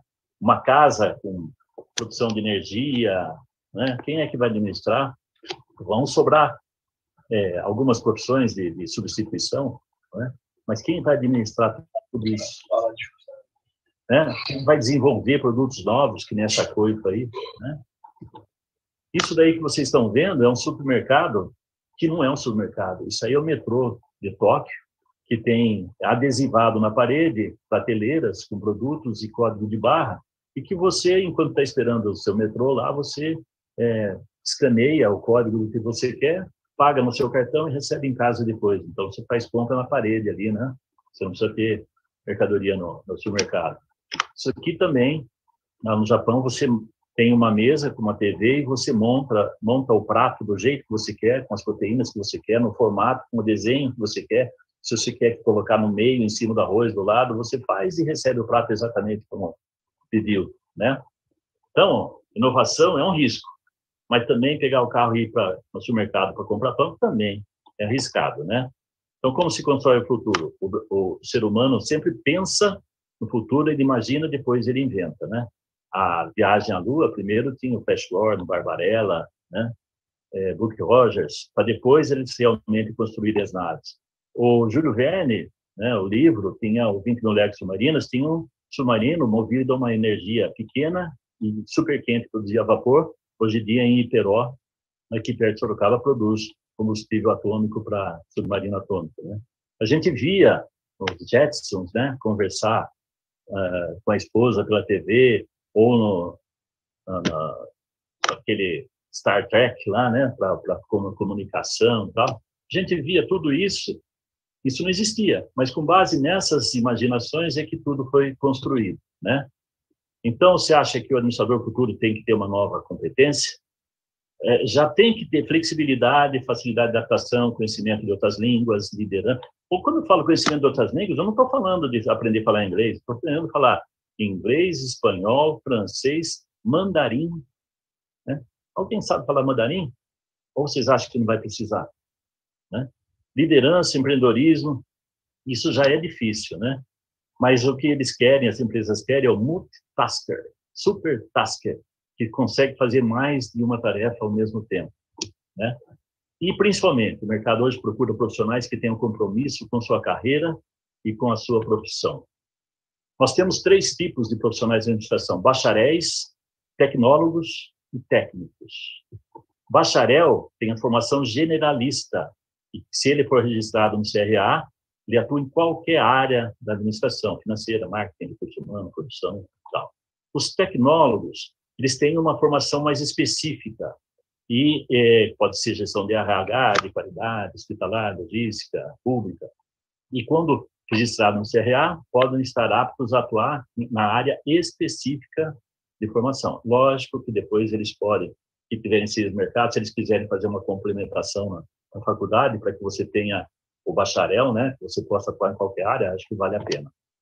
É, então, é, todos esses dois né, devem ter registro no conselho. O técnico é nível médico, né, técnico em administração. Não é uma graduação, mas ele pode atuar em rotina administrativa, em áreas específicas, em atividades de menor complexidade e ocupar cargos como auxiliar e assistente. Tá? É, conhecendo mais um pouquinho do CRA, por que se registrar e quais as vantagens? Primeiro, é obrigatório por lei você ter o registro. Como todas as profissões, se você pegar o médico, ele tem que ter o CRM, você pega o, advogado, tem que ter o AB, você pega o engenheiro, tem que ter o CREA, o administrador tem que ter o CRA, é lei, é profissão regulamentada. Quem exerce sem estar registrado no CRA é exercício legal da profissão. Aliás, nós, administradores, deveríamos nos preocupar em denunciar empresas que contratam pessoas sem estarem registradas no CRA para exercer cargos de administração, planejamento, gestão. Né? Segundo, é um diferencial de mercado. Né? Se você coloca no seu currículo que você já tem, é, você já tem o, a inscrição no conselho, esse cara é profissional. Né? É a mesma coisa que o médico chegar a pedir emprego no, no hospital e falar, você tem CRM? Não, mas se eu for contratado, eu vou tirar o CRM. Não é assim. Né? Você tem que ter o registro. Né? E existe um código de ética da profissão que tem que ser seguido. É, você pode participar de concursos, porque traz concurso público para cargos de, de, de, gestão, exigem o registro no CRA. Coloca seu nome em listas de contratações públicas, né, porque às vezes o judiciário pede um administrador para fazer uma análise em algum local da, da empresa lá, né, fazer uma auditoria, é, ser um perito, né, eles é, colocam o nome, né, o CRA coloca o nome lá e você pode ser chamado para isso dá acesso a certidões de regularidade, de comprovação de aptidão, de certidão de perito judicial, tudo que o precisa de certidão exclusiva, o conselho dá. Pode participar de ações de valorização profissional, né? Você pode ser um representante do CRA, como eu sou, né? E que trabalha nos seus municípios para defender a classe e ampliar o conhecimento sobre a profissão. Impulsiona, impulsiona o seu network, né? Você vai fazer contato com muita gente, né? Existem grupos de excelência que estudam assuntos específicos. Eu faço parte de um grupo de excelência no conselho que fala sobre inovação e empreendedorismo. Né? Então, a gente discute esses assuntos, promove eventos, a gente cria conhecimento né, e divulga para os administradores. Tem a carteira de identidade profissional digital, né? Então, eu tenho minha carteira digital. É, fiscaliza aqueles que estão trabalhando com administradores não registrados. É, dá direito a receber uma revista, a DN Pro, né, mensalmente, acho que é bimestral, né, permite que você publique artigo nessa revista, dá acesso a conteúdos feitos sob medidas, como algumas webinars e cursos, né, existe um canal de treinamento de cursos gratuitos que tem mais de 1.500 cursos gratuitos Estou falando, vou repetir, mais de 1.500 cursos gratuitos, né? Para quem é registrado no CRA. Ajuda a criar um mundo melhor, né? Que visa colaborar com a Agenda 19 Objetivos de Desenvolvimento Sustentável da ONU, né? E esses cursos gratuitos aqui, ó. Procura CRASP, CRASP é CRA São Paulo, Educa, craspeduca.crasp.gov.br. Vocês vão ver lá todos esses quadradinhos à direita aí, todas essas faculdades, Senac, Senai, o que quer que esteja aí, né? É, FGV, é, USP, tem diversos cursos, diversos cursos, cada um gratuitos, com certificado, tá? É, gostaria de convidar todos né, para se inscreverem de 25 a 28 de abril. Nós vamos falar no CRA, vai ter uma palestra específica para cada área, vai ter específica para inovação, específica para logística, específica para administradora de condomínio, né? vai falar sobre as carreiras da, da, da administração, né? de 25 a 28, entra no site do CRA São Paulo, trascsaumpaulo.org.br, faz sua inscrição lá. E quando se registrar? Você pode se registrar a qualquer momento, mas se você quiser se registrar já, quem vai se formar, entra nesse estudante www.craft.gov.br e você já se registra, já pede o registro. Lá vai pedir alguns documentos e você já pede o registro. Quando você se formar, você já está registrado. Quais os benefícios, né? É, se você fizer até 90 dias da sua colação, você tem isenção integral da anuidade de 2022 e 50% de desconto na anuidade de 2023. Você paga apenas a emissão da primeira via da carteira de 88 reais. Vale a pena é, também é possível ter a carteira estudante. Ó, quem está estudando aí, seja para bacharel, seja é, tecnólogo, seja é, para técnico, né, já pode ter uma carteira de estudante totalmente gratuita. Né?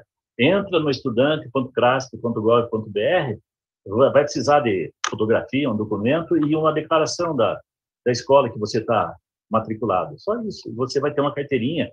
Atualmente você usa para ir num cinema, num teatro, né? Mas também mostra que você vai ser um excelente profissional, né? Aqui é um print da tela lá, né? Carteira digital. Você tem aqui na esquerda embaixo carteira de estudante e à direita, registro profissional, você clica ali, você tem todas as instruções, é facílimo, facílimo, tá? E, por fim, o, vocês conhecem a teoria do caos? Né? É, o caos, a teoria diz o seguinte, se uma borboleta bater asas lá no Havaí, vai provocar uma pequena, um pequeno deslocamento de ar que vai se multiplicar e que pode vir a resultar num tornado ou num furacão lá nos Estados Unidos. Essa é a teoria do, do caos. Então, tem uma teoria aqui ilustrada, né? Everaldo havia acordado mais cedo aquele dia. E, ao abrir a janela, nossa, a, a, a abelha acabou fugindo e foi para dentro do apartamento do Maurício. É coincidência o cabelo branco aí na historinha, né? E ele se defendeu com chinelo, que bateu no jarro, que caiu na cabeça do Arnaldo e deixou mulher, viúva e dois filhos, né? Então, quer dizer, o simples fato dele abrir a janela, é, o simples fato de abrir a janela, essa mosquinha causou a morte do, do seu Arnaldo. Isso é a teoria dos, do caos, né? que uma pequena ação, um, qualquer movimento pode alterar completamente o futuro. Então, futuro é como se tivesse uma borboleta na sua mão. Você pode apertar ou você pode soltar. Né? Como que vai ser o seu futuro? Espera, espera, espera que eu passei. O futuro está nas suas mãos. Né? Isso é uma, uma historinha do, do sábio, que o cara queria contestar o sábio, pegou um passarinho, pôs na mão e falou, sábio, o passarinho está morto ou está vivo? Falou assim, depende de você. Né? Se você quiser que ele morra, você aperta. Se quiser que ele viva, você solta. Né? Então, o futuro está na mão de vocês. O que, que vocês vão fazer depende de vocês. Então, recomendação final, não, não saia acreditando que tudo que eu disse aqui é fotografia do futuro e nem acredite que vocês vão conseguir planejar perfeitamente sua carreira pelo que a gente viu aqui. Porque o futuro tem que ser construído por todos. Tá?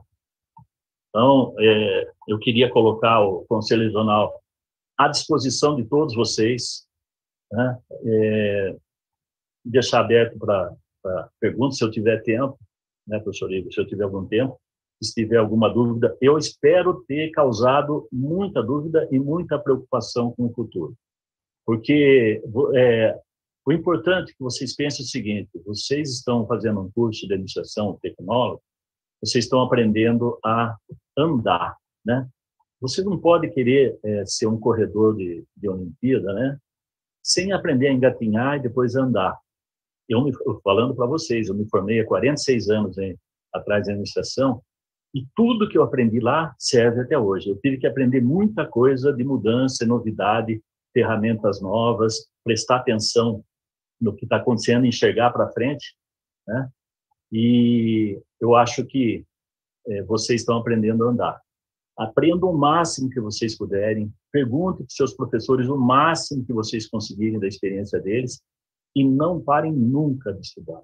Ao vocês terminarem o curso de vocês, vão fazer outro, vão fazer pós. Quem terminar é, ciências contábeis, uma dica, é, administração é uma excelente profissão. Faz mais dois anos, a maioria das instituições tem isso. Você faz um complemento e pega o diploma de administrador também.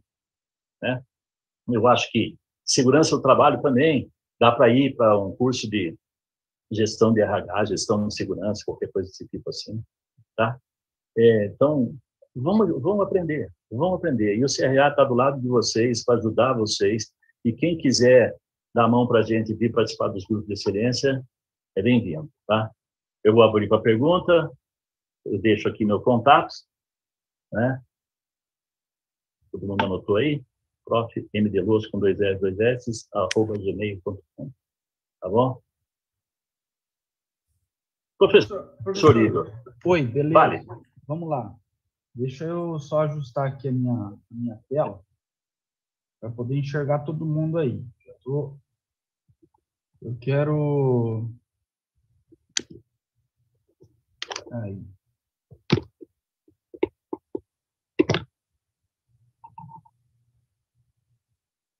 Eu quero é, começar aqui, professor, se me permite, eu vou, eu vou fazer um share screen aqui da tela da página do CRA. Ah, sim. Tá? Para o pessoal dar uma olhadinha ali, né? Que eu acho que é bem, bem interessante aqui. A gente. É, é CRASP, CRA São Paulo, né? CRASP.org.br. A hora que aparecer aí, me dá um toque. Apareceu. Já apareceu? Então, é, só a, então, aquilo que o professor apresentou ali no slide, né, mostrar para a moçada aqui na, na tela, né? O professor fez o um comentário aqui é, da parte de estudantes. É bem fácil, porque o, o, o, site é bem, bem, bem fácil de se, de se manusear, ele é bem intuitivo. Então, aqui uhum. na parte de, de, estudantes, já tem o espaço de estudantes aqui, né? A, carreira, a, a carteira de estudante aqui para clicar e fazer o cadastro, que foi o que o senhor comentou aí, né, professor? Isso. E aqui no, no menu, que é bem bacana isso daqui, os alunos precisam fazer as atividades complementares e tudo mais, né? Então, a gente tem aqui no menu o CRASP Educa. É, eu, eu não sei se, é, naturalmente, o professor... Pode rodar para baixo aí. Você vai ver todas as instituições. Isso, o, professor tem é, a proficiência no, no CRA de São Paulo, tem, é, tem pergunta ali sobre o CRA de Minas, né? É, mas eu não sei se é a tela aqui é a mesma, né? É, é o seguinte, cada conselho responde por um estado, e se você exerce a profissão aqui no, em São Paulo e se mudar para Minas, você é, é, instruído a mudar o seu CRA para o CRA de Minas, né? Uhum. Eu, o que eu sei, pelo que eu sei, o, o CRA de São Paulo é um dos mais é, completos, mais ativos. É. Mas cada estado tem o seu. E aí, aqui embaixo, né, então temos aqui né, a ABED, é, a Aliança Brasileira, enfim, né, é, é, a Escola Aberta, né, que é bem conhecida também, o pessoal aí que está sempre aí me, me perguntando sobre as, as, os, os, cursos né, relacionados à parte financeira, banco. Tem do banco, é. aqui. Moçada aí de gestão pública, né? Escola Nacional de Administração Pública, que é bem bacana. Enfim, né? Uma aqui, ó, que... olha esse aí que você passou, FIA, aqui, ó, do lado da GV, por exemplo. Ah, sim. Uhum. Clica aí, por exemplo, só para os alunos verem que quando abre ali, você tem é... Aí só está falando as webinars. É. Onde tem cursos aí. Não, Acho só que... volta, veja o GV. O da GV eu abro sempre, isso aí eu não... do lado aqui, à esquerda. Ah, sim. Cursos, olha lá. Ó. Atenção à saúde, internet e os negócios, acesso à informação, alinhamento entre vendas e marketing, análise. Vou entrar aqui no, no, no marketing, aqui só para mostrar. Então, aqui já tem né, uh, o valor, uh, a carga horária, né? E já o link aqui para se inscrever, como eu falei, extremamente intuitivo, né? E fácil de, de manusear, né? E eu acho que é bem bacana ter essa essa ferramenta aqui do CRA que é uma ferramenta produzida para o CRA para alunos, né, professor? Isso. É, é, a, a, lógico, né? Estando formados também é possível, mas enquanto a vida acadêmica, né, é bacana ter acesso a essas informações aqui aí para todos vocês.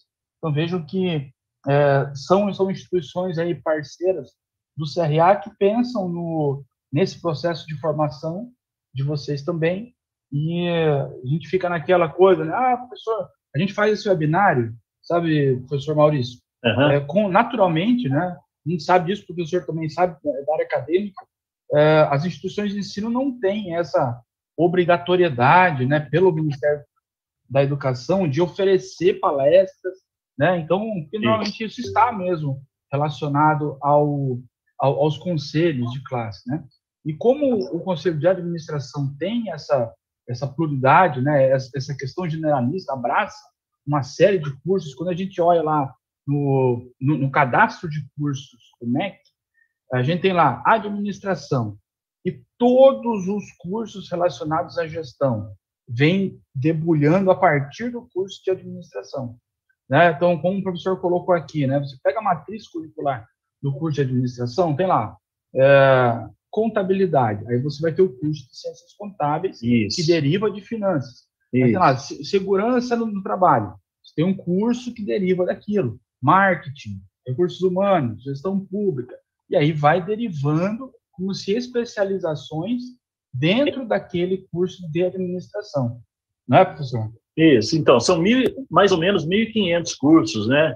E todos gratuitos, e todos com certificado. Quer dizer, é uma chance, não só de atividades complementares, é uma chance de conhecimento, de adquirir conhecimento, né? e se, se colocar à frente. Eu, eu gosto de pensar uma, uma piada que me contaram quando era moleque, dois amigos andando na floresta e apareceu uma onça, uma onça. E aí um deles começou a tirou da mochila um sapato de corrida, aqueles de prego, né?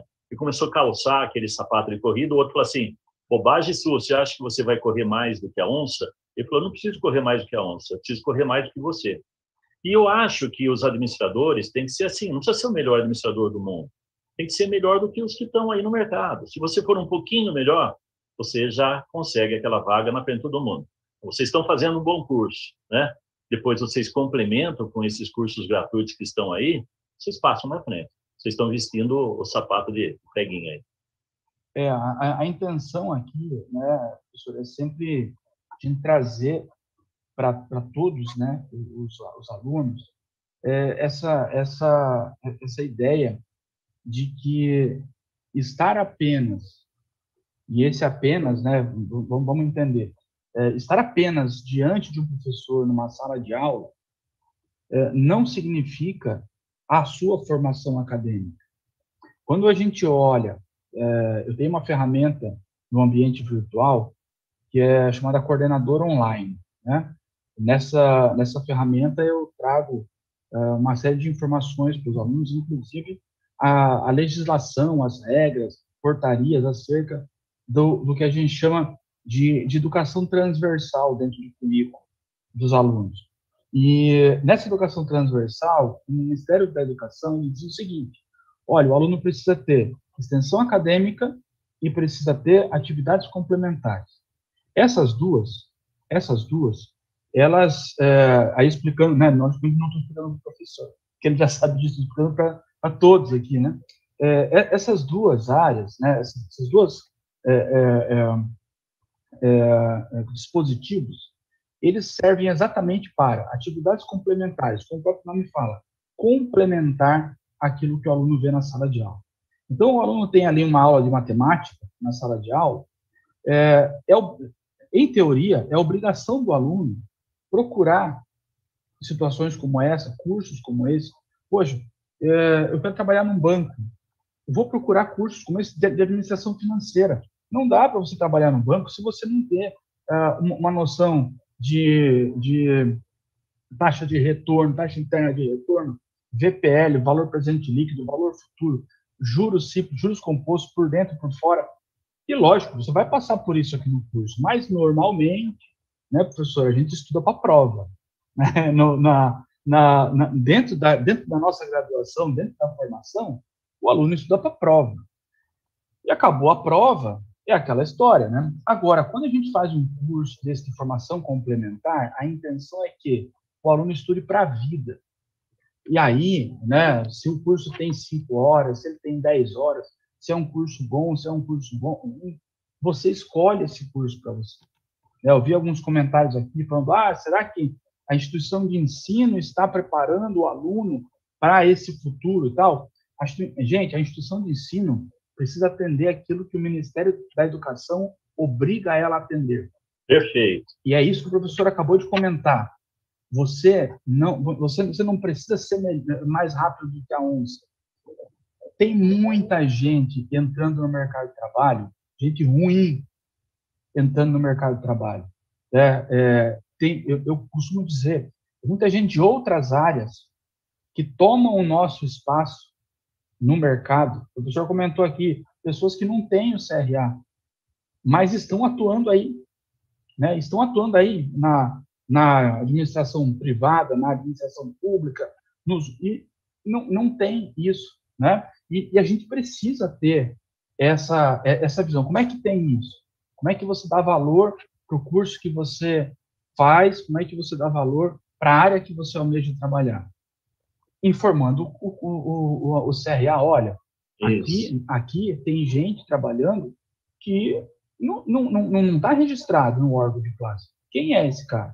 É um cara que tem um diploma, mas ele não faz parte do, do, do, do, do da sua agremiação, né? não faz parte do, do, do seu conselho, ele não está logado no conselho. O conselho de classe serve para nos proteger. Ali dentro, é, eles estão verificando a nossa conduta ética, nossa conduta moral. né? Se eu, eu, eu trabalho como perito, sabe, professor? É. Sou, sou, contador, trabalho como perito.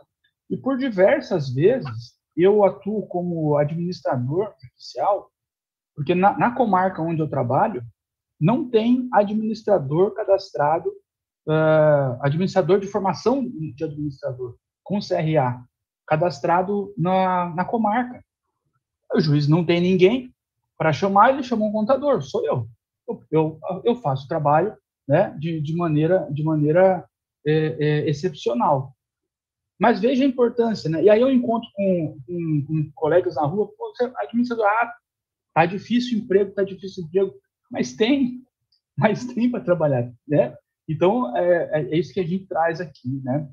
É, professor, com relação às perguntas aqui, vou fazer. É, é, eu, eu, eu duas perguntas aqui no, no, no, no, no chat.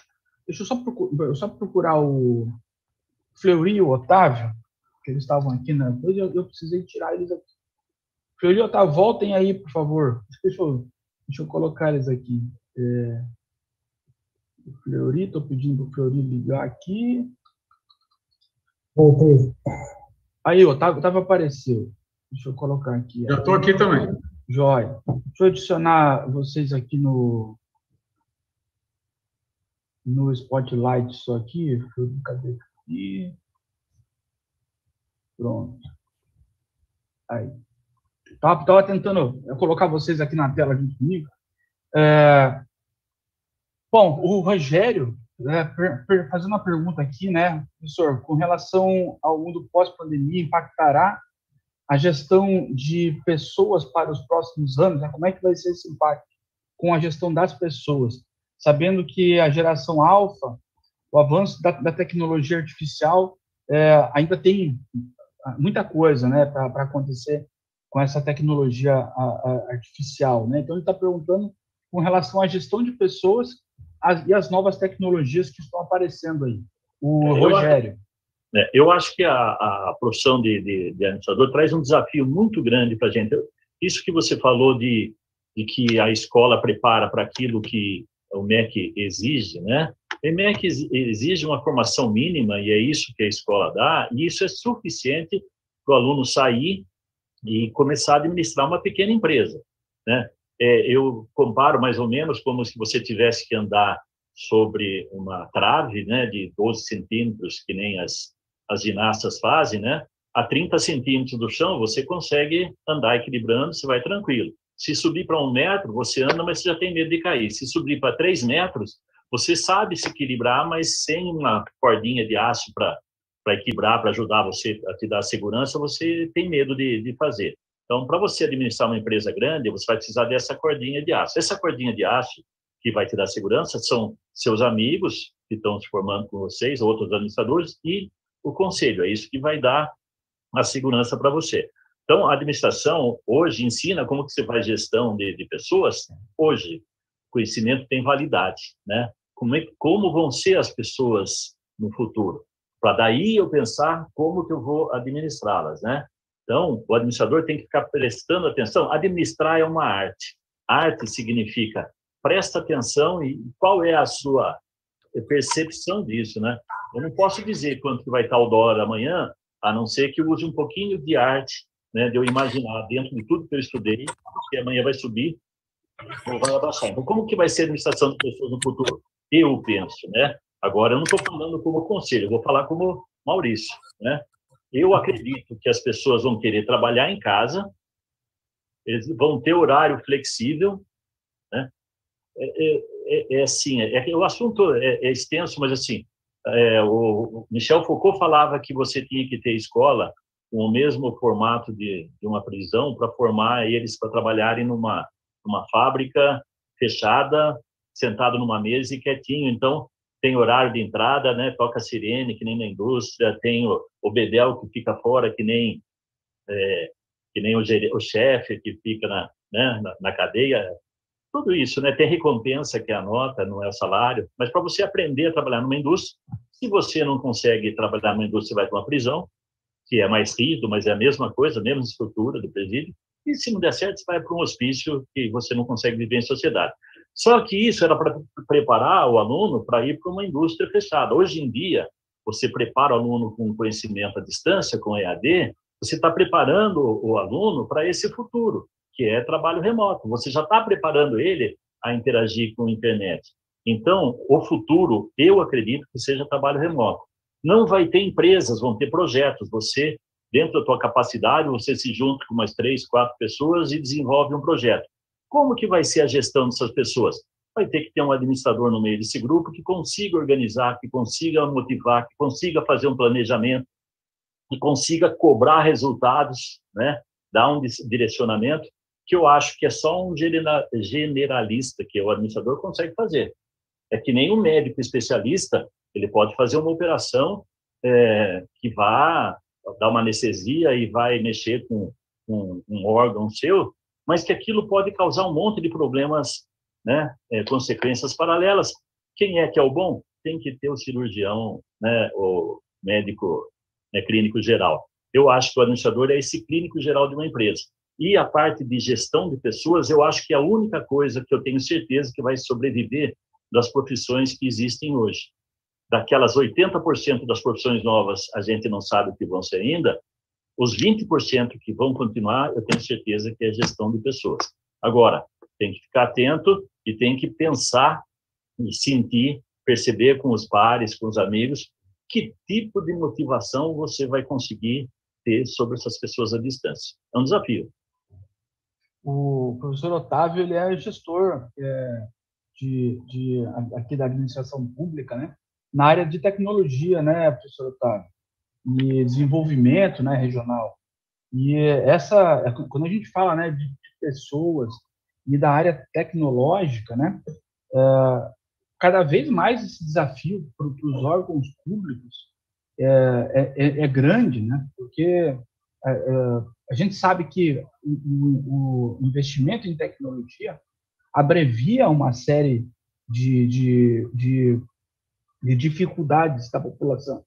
Né? Veja que a gente passou aí em dois anos de pandemia, o pessoal correndo atrás, pegando atrás de vacina e vendo não sei o quê, inventa é, o capacete, inventa respirador, inventa não sei o quê, para auxiliar. Né? E assim também acontece aí na, na, na, na, gestão pública. Né? Veja agora, nessa situação aí da, na China, estava vendo lá o cachorrinho, o robô andando lá pela rua, avisando lá do, do lockdown, né? O pessoal, a, a, né, professor Otávio, investimento da área pública em tecnologia é, é, é imprescindível, né, professor? Exato, exato. Eu estava Enquanto o professor, né, o Maurício, estava falando sobre essa questão que também o senhor trabalhou né, na gestão pública, né, em Sorocaba, né? Isso, fui secretário municipal. É uma referência, né, até Sorocaba para a nossa região aqui. Atualmente sou diretor de desenvolvimento econômico, ciência, tecnologia e inovação aqui no município, né? E achei muito legal o currículo do senhor por conta dessa participação na gestão pública, né? E essa questão mesmo da, de pensar, né, é, acompanhar essas mudanças dentro do setor público, falo brasileiro, é uma, é uma luta, né? é um desafio muito grande, porque ao mesmo tempo que as empresas privadas né, já têm esse, esse problema de acompanhar a tecnologia, o setor público a gente está engatinhando né, nessas novas ferramentas. Né?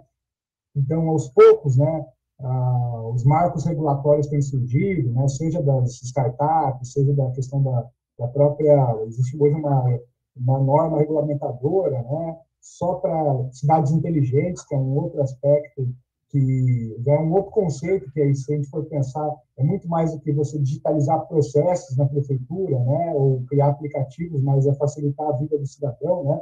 Tudo isso é, vem né, é, ao encontro do e aí, isso tudo também tem a pandemia, né? Então a gente seguiu, por exemplo, no caso aqui em registro, uma situação em que realmente a gente tem uma população que não está acostumada né, às tecnologias e, de repente, elas vão ter que entrar e mexer na tecnologia. E aí o papel do gestor é fundamental nesse processo, porque só, só o gestor, né, seja ele da, da administração, seja de qualquer outra área, tem essa noção de que é um processo, ele precisa ser os colaboradores né, precisam ser sensibilizados, a população precisa ser bem informada, né? E isso não é do dia para a noite, né? Então, da noite para o dia. Então, a gente, é, além de digitalizar processos, além de realmente é, buscar isso, você precisa também fazer com que a população busque outros meios, outros canais, né, que ela sinta parte desse processo. Então, isso é, é, muito desafiador, porque, ao mesmo tempo, a gente tem uma população que não tem acesso, né, é, a, vamos dizer, né, de maneira simples, não tem acesso ao ônibus, né? É, imagine a, a, internet, né? Então, é, isso também acaba sendo, sendo um problema, mas, com certeza, isso nos últimos dois anos vem acelerando, né, esse processo de realmente acesso a tecnologias, acesso à internet, né? Então, assim, isso é um, a pandemia, né, tanto no setor público quanto no setor privado, foi um, um aprendizado muito grande, porque a gente sabe que a gente consegue se adaptar a, ao processo. A gestão pública consegue sim se adaptar, né? É, muitas vezes é só você, de repente, ter um pouco mais de paciência nesses processos, na regulamentação, nas leis. É, então, assim, aos poucos a gente tem visto né, um, um profissionalismo na gestão pública que, de fato, não, não, está longe da gestão privada, né? Só falta o quê? Um pouco de boa, um pouco, um pouco né, de boa vontade, né, dos gestores, do, do, da equipe técnica da prefeitura em realmente manter uma continuidade, né, em projetos, né? E, e isso tem, né? No caso, posso falar que no nosso caso a gente tem conseguido fazer isso, né? Claro que é, precisa ter toda uma sensibilização também da gestão pública de que é, mandar recursos para a tecnologia é um investimento, não é um gasto, né? Isso é importante. A gente ainda tem que mostrar para a gestão pública que você asfaltar uma rua e você digitalizar uma, uma, uma prefeitura é, não, não, é a mesma, não, é, não é a mesma forma de comparação, né? então, assim, muita coisa não dá volta. Esse é o problema também, né? Você asfaltar uma rua dá volta, né? É você, é. por exemplo, criar um aplicativo em que o cidadão não precisa ficar indo no posto de saúde é, pegando fila, né? muitas vezes o cara não tem essa noção, né? Que isso é realmente está dando muito mais qualidade de vida para ele, né? É. Então, eu, desafios, né? É, eu trabalhei na, na, na, administração pública, né, como secretário, e eu acho um absurdo, um absurdo não ser obrigatório por lei que uma prefeitura tenha um administrador da cidade, né? concursado e que realmente pense no planejamento e que seja política pública a longo prazo, né? Eu acho que tem que ter. É, e isso né, começa por a gente exigir do poder público que quando ele fizer edital de, de concurso público, que ele exija a inscrição no CRA, assim como ele exige o CRN para contratar um médico no concurso, que ele exija o CRA para contratar um administrador. Lembrando que é, gestão de marketing é específica do administrador, gestão de pessoas específica de, de, de administrador.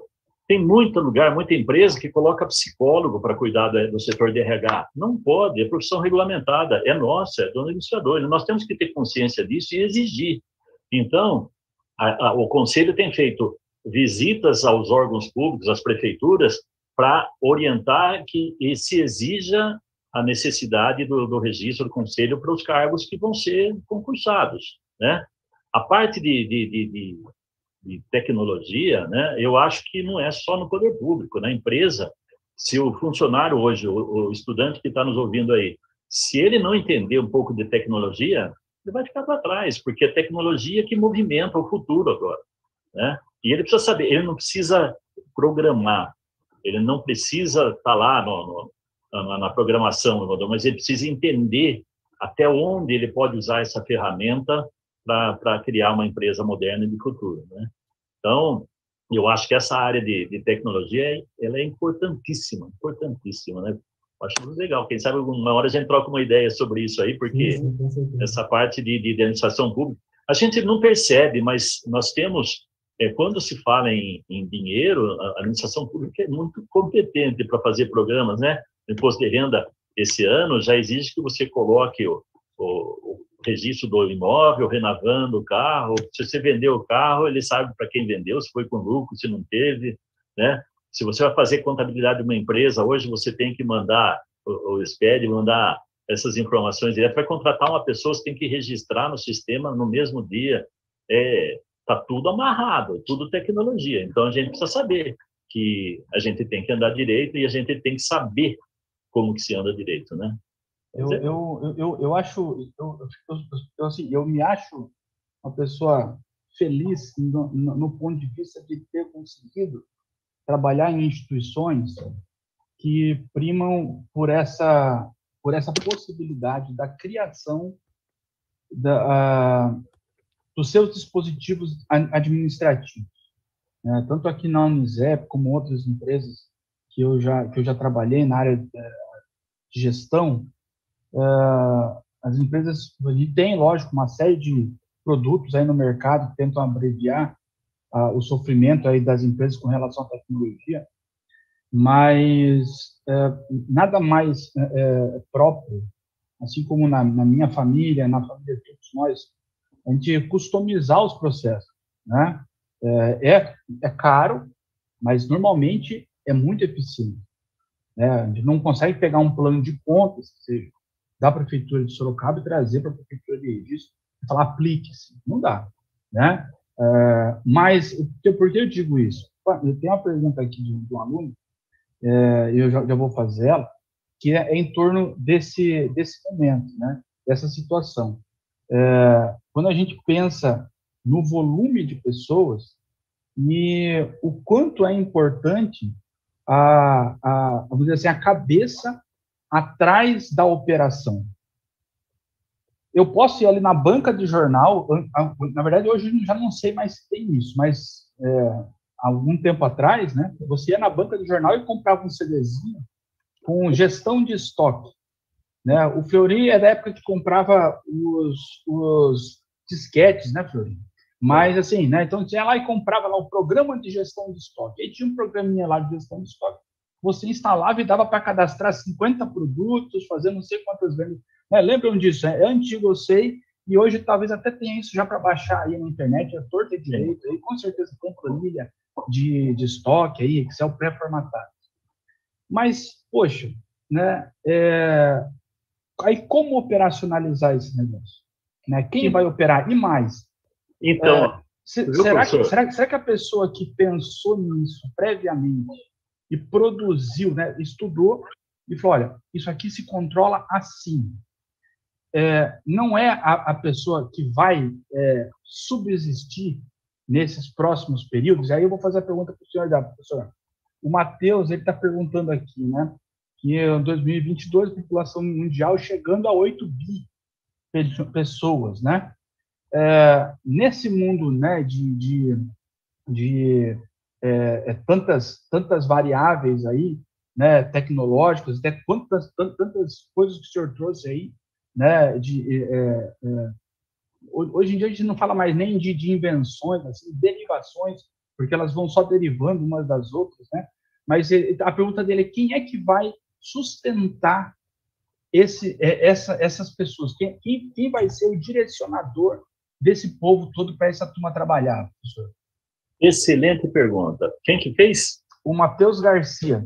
Matheus, é isso que um administrador tem que fazer, é pensar grande, né? Então, assim, se hoje em dia mais da metade da população do mundo sobrevive com menos de um dólar por dia, quem vai comprar o meu produto? Quem vai comprar o meu robô? Quem vai comprar o meu celular? Quem vai comprar é, meu carro autônomo, né? Então, é, além de você pensar nos produtos, você tem que ajudar, isso seria da gestão pública né, também, é ajudar as pessoas a se envolverem na economia e produzirem e poderem ter acesso a esses produtos. E criar, o administrador tem que pensar em criar produtos para essa classe menos favorecida. Né? É que a gente pensa que o administrador está pensando só nas grandes empresas, na alta tecnologia, e não é isso a, o, o, rapaz, o, o, aluno aí foi brilhante, né? Não adianta, se eu tenho 8 bilhões de, de habitantes e, e, mais a metade, é bem mais que a metade, não, não ganha um dólar por dia, né? eu tenho que pensar nisso, né? É, eu penso, mas a gente tem que pensar globalmente e agir localmente, né? A, a, o pensamento é do, do, globalização total, mas eu tenho que agir dentro do que eu posso. Eu vou falar uma coisa que pouca gente às vezes pensa, né? Administração de condomínio. O Brasil inteiro tem condomínios hoje em dia por problema de segurança. Você tem um, um condomínio, pode ser um, um, prédio, pode ser um condomínio horizontal. Para administrar um condomínio, existem administradores de condomínio, por lei é obrigatório que a empresa esteja registrada no CRA, a empresa esteja registrada E ela tem que ter, obrigatoriamente, um administrador registrado no CRA responsável por essa empresa. Né? E aí fala assim, aí na região não tem pessoas registradas no, no conselho exercendo profissão. Você monta uma empresa, registra no CRA, põe um administrador registrado no CRA e vai em todos os condomínios e fala assim, nós obedecemos a lei, os outros estão todos fora da lei. E eu acredito que muitos condomínios vão para isso e vai forçar que outras empresas é, se adaptem a isso. Né? Então, é, pensar que a população não tem acesso, pensar que o Brasil, quando for colocar TV 4K e internet e tudo, quando chegar no interior do Nordeste vai ser difícil que aquilo acompanhe, né? Aquilo acompanhe.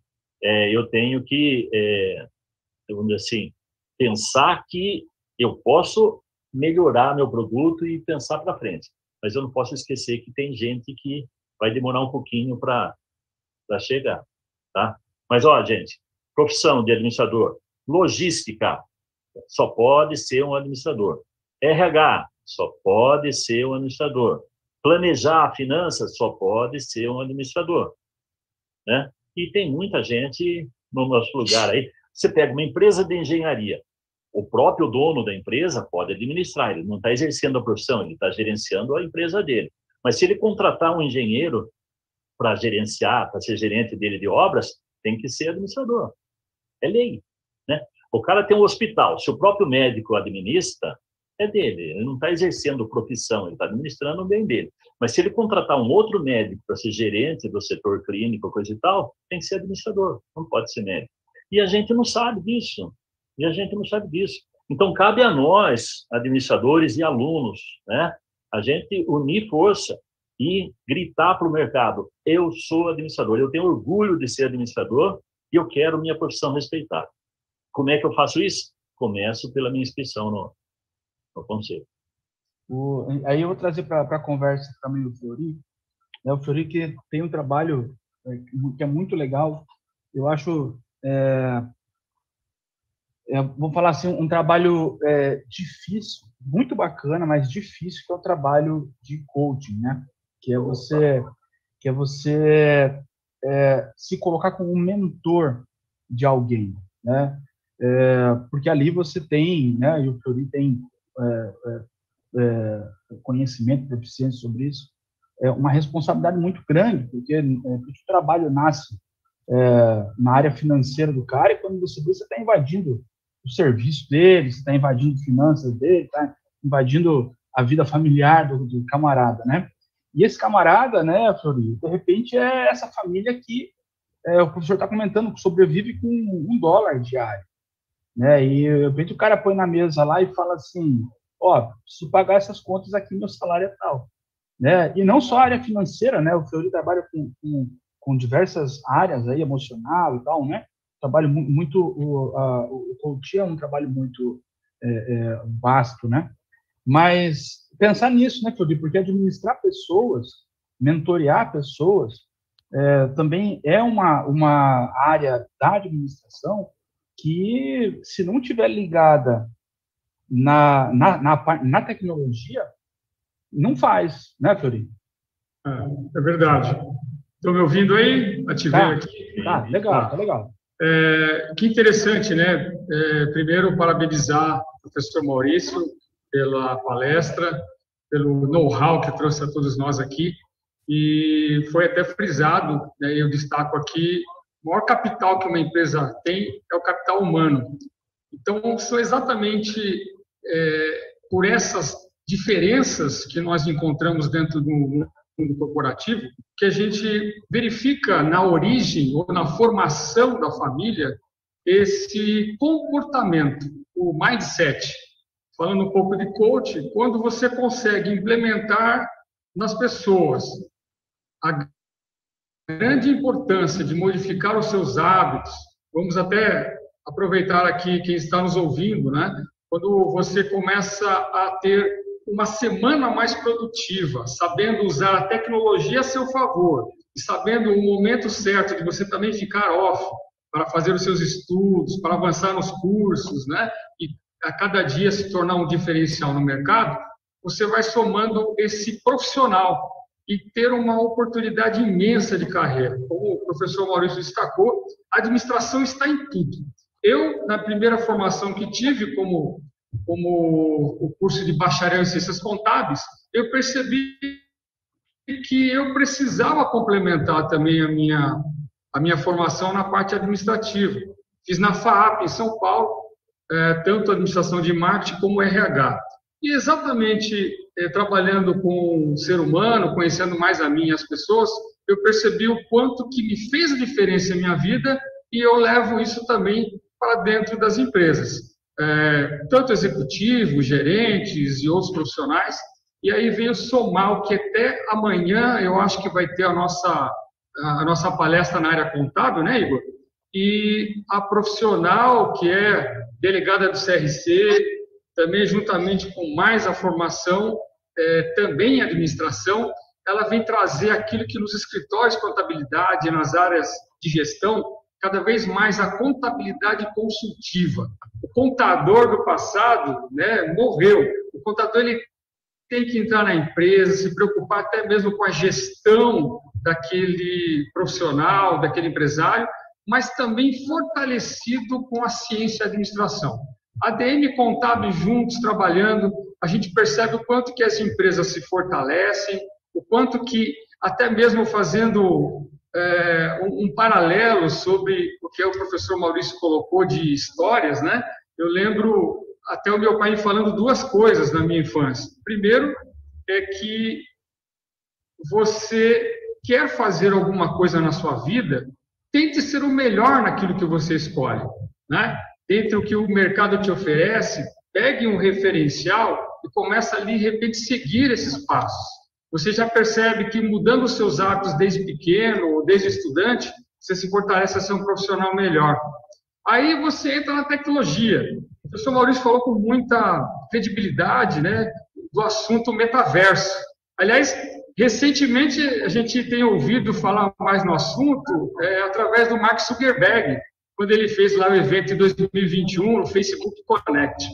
Ah, mas ele até mesmo colocou isso e mudou o nome da empresa, do grupo né, empresarial, que agora se chama Meta. O Zuckerberg acredita que o metaverso é a nova versão da internet, uma plataforma que usaremos cada vez mais para simular presença, enfim. Olha o quanto que isso é importantíssimo, né? É, entre nós estarmos conectados com a tecnologia e saber que tudo isso vai ser essencial para a nossa carreira, para o futuro, mas não podemos esquecer que nós precisamos se adaptar a tudo isso, modificar os nossos hábitos, ser mais produtivo, porque senão a gente não vai ter tempo para conhecer todas essas ferramentas e saber gerir as pessoas. Porque se a gente não tem esse, essa uh, habilidade e competência dentro da empresa, como o professor Maurício colocou, a gente não vai saber lidar com o maior capital que a empresa tem, como diz Hidalberto Chavenato, né? o capital humano. É, olha, eu queria só completar. É, eu acho, eu, eu penso assim, ser o melhor que puder naquilo que você faz, né? Só que às vezes isso para mim pesa muito, né? Ser o melhor, às vezes pesa. E eu, eu, eu gosto mais de falar, às vezes, para os meus alunos, assim, seja a melhor versão de si mesmo. Quer dizer, sim, seja o melhor que você consegue, não é? Seja só, seja o melhor. Seja o melhor que você conseguir. Isso, eu acho que é obrigação de todo mundo. Você não precisa ser o melhor de todos, mas você tem que ser melhor para você, do que você consegue, sempre buscar ser o melhor, né? Mas eu acho que é esse o, o, o caminho. Eu acho que a gente tem que valorizar as pessoas da, da empresa, porque é isso que vai restar. Eu acho que é isso que vai restar. As máquinas vão fazer tudo pela gente. Vai sobrar o quê? As pessoas. Alguém tem que cuidar das pessoas, alguém tem que motivar as pessoas, alguém tem que achar um propósito de vida para essas pessoas. Né? Por que, que a gente está aqui? Ainda mais se a gente for viver 140 anos. Né? Sem um propósito vai ser difícil. Eu queria complementar para o professor Igor, que ele falou de comprar o programinha de gestão de estoque, né? falar para quem está nos assistindo também que hoje em dia a gestão de estoque passou a ser uma coisa que usa a, a Big Data, né?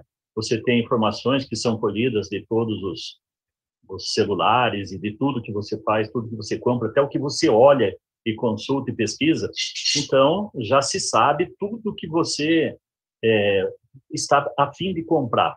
Então, por exemplo, o Big Data já sabe que a próxima camisa que eu vou comprar vai ser de manga curta, vai ser colorida, de preferência amarela, de tal tecido, assim, assim, assim. Ele já produz aquela camisa e já manda para a loja que eu costumo ir, né? Para eu chegar e tá lá. E a próxima coisa que eu vou comprar, ah, estou precisando trocar de geladeira. Ele já produz a geladeira do jeito que eu vou comprar, já põe no distribuidor aqui perto de Sorocaba. A hora que eu fizer o pedido na internet, amanhã está na minha casa. Então entra aí logística, entra gestão de estoque, né? entra big data, machine learning, uso da internet, tudo que a gente faz, a internet sabe. Né? É, então, é, eu acho que a, a gestão de, de estoque também, né? Os programinhas que são prontos, né? Quem faz isso vai ficar para trás. Vamos usar enquanto a gente não consegue uma solução melhor? Vamos. Mas vamos pensar numa solução melhor, porque já tem gente aí fazendo coisas maravilhosas com gestão de estoque. É, é, é importante a gente saber que já existem coisas melhores, né, professor? Tá? Sempre. Já existem no mercado. Dá, dá, dá para usar aí de maneira, é, é, é, como o professor falou, né? Ó, vamos, usar aqui de, de, de maneira é, emergencial, beleza, mas já tem aí no mercado é, é, coisas melhores. A gente fica, às vezes, até, não sei se todos são assim, mas a gente fica um pouco assustado, né? É, quando a gente começa a ver é, quanto o, o mundo sabe da vida da gente. É, a, teve uma, uma, uma exposição é, em São Paulo, um tempo atrás, que você é, colocava o rostinho lá na câmera e aparecia o seu rosto na câmera e em volta tudo aquilo que estava relacionado a, a você. Processos judiciais, é, a, a, certidões, fotos e diversas, milhares de fotos. E aí você ficava assim, as compras, né, dados públicos, né, que ficam ali, né, Falou, olha, isso daqui é o que a internet sabe sobre você, o lugar que você mora, né, que você acessa ali pelo Maps, e aí você compartilha com alguém, uma viagem de férias que você fez, outra, outra, outra. Falou, cara, isso aqui é o que a internet sabe, sabe sobre você. E é assustador isso daí, né? É assustador, porque a gente é, assustador do ponto de vista de é, fala, poxa, de onde é que tiraram toda essa informação? Estou invadindo a minha vida? Alguém aqui no chat colocou assim, mas isso não é invasão de privacidade? Não é a partir do momento que quem disponibilizou foi você. Não é, professor? Ó, isso é importante que você falou, se é invasão de, de, de, privacidade, que o jovem hoje é aquele um de que é tentativa e erro, que não lê manual.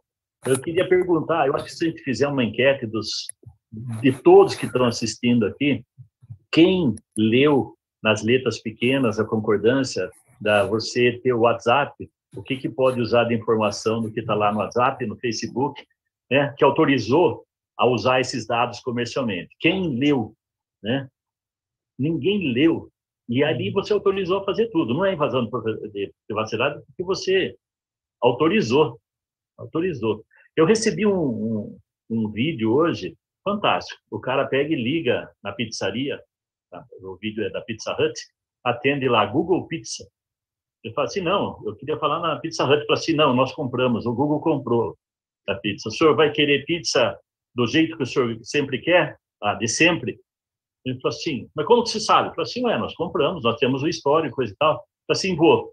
Daí a, o avatar fala assim, mas o senhor não deveria, o senhor deveria levar uma pizza vegetariana. Por quê? Porque nós estivemos olhando aqui seus últimos exames médicos dos últimos sete anos o seu colesterol está alto. Né? O senhor deveria comer uma pizza vegetariana.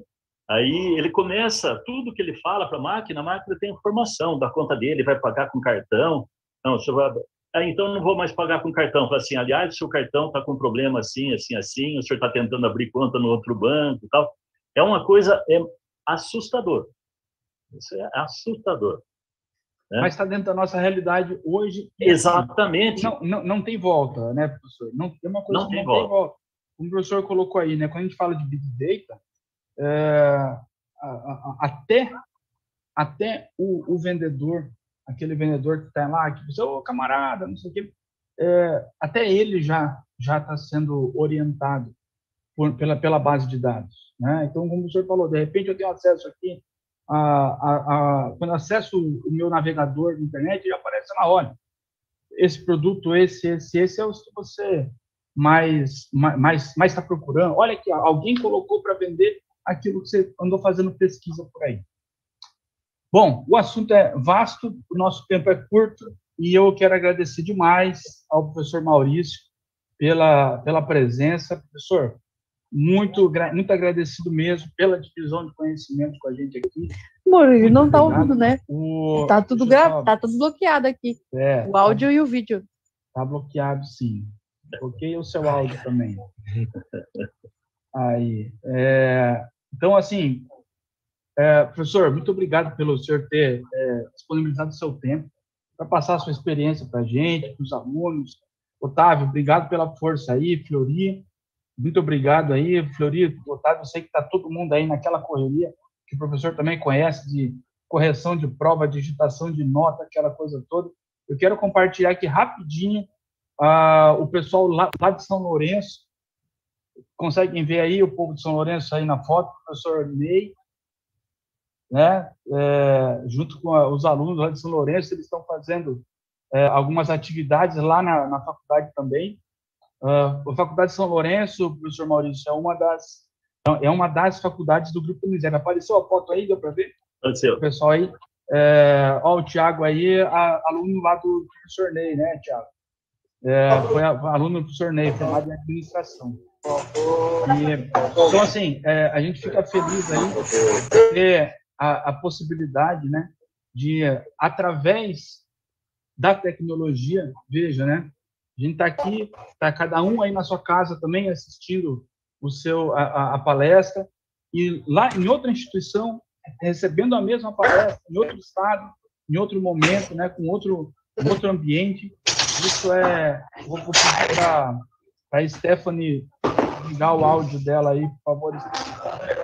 Já que a Stephanie não pode beijar, se alguém quiser beijar. É, deixa eu só tirar aqui. Pronto, removi a Stephanie. É, então, assim, é, acho que a, isso é tecnologia. É, inclusive, a possibilidade da gente tirar alguém da sala que está importunando sem precisar é, se desgastar pessoalmente. Então, Fiori, obrigado, Fiori. Dá, um, dá um salve para o pessoal aí, Fiori.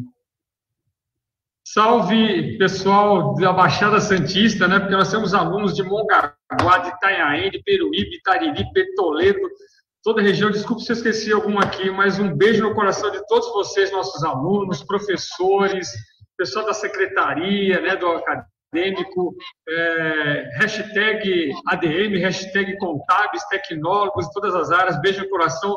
Obrigado, professor Maurício. Belíssima palestra. Obrigado. Otávio, dá um, um, um recado aí para o pessoal, aí, nossos alunos de administração e das tecnologias aqui do Vale do Ribeira.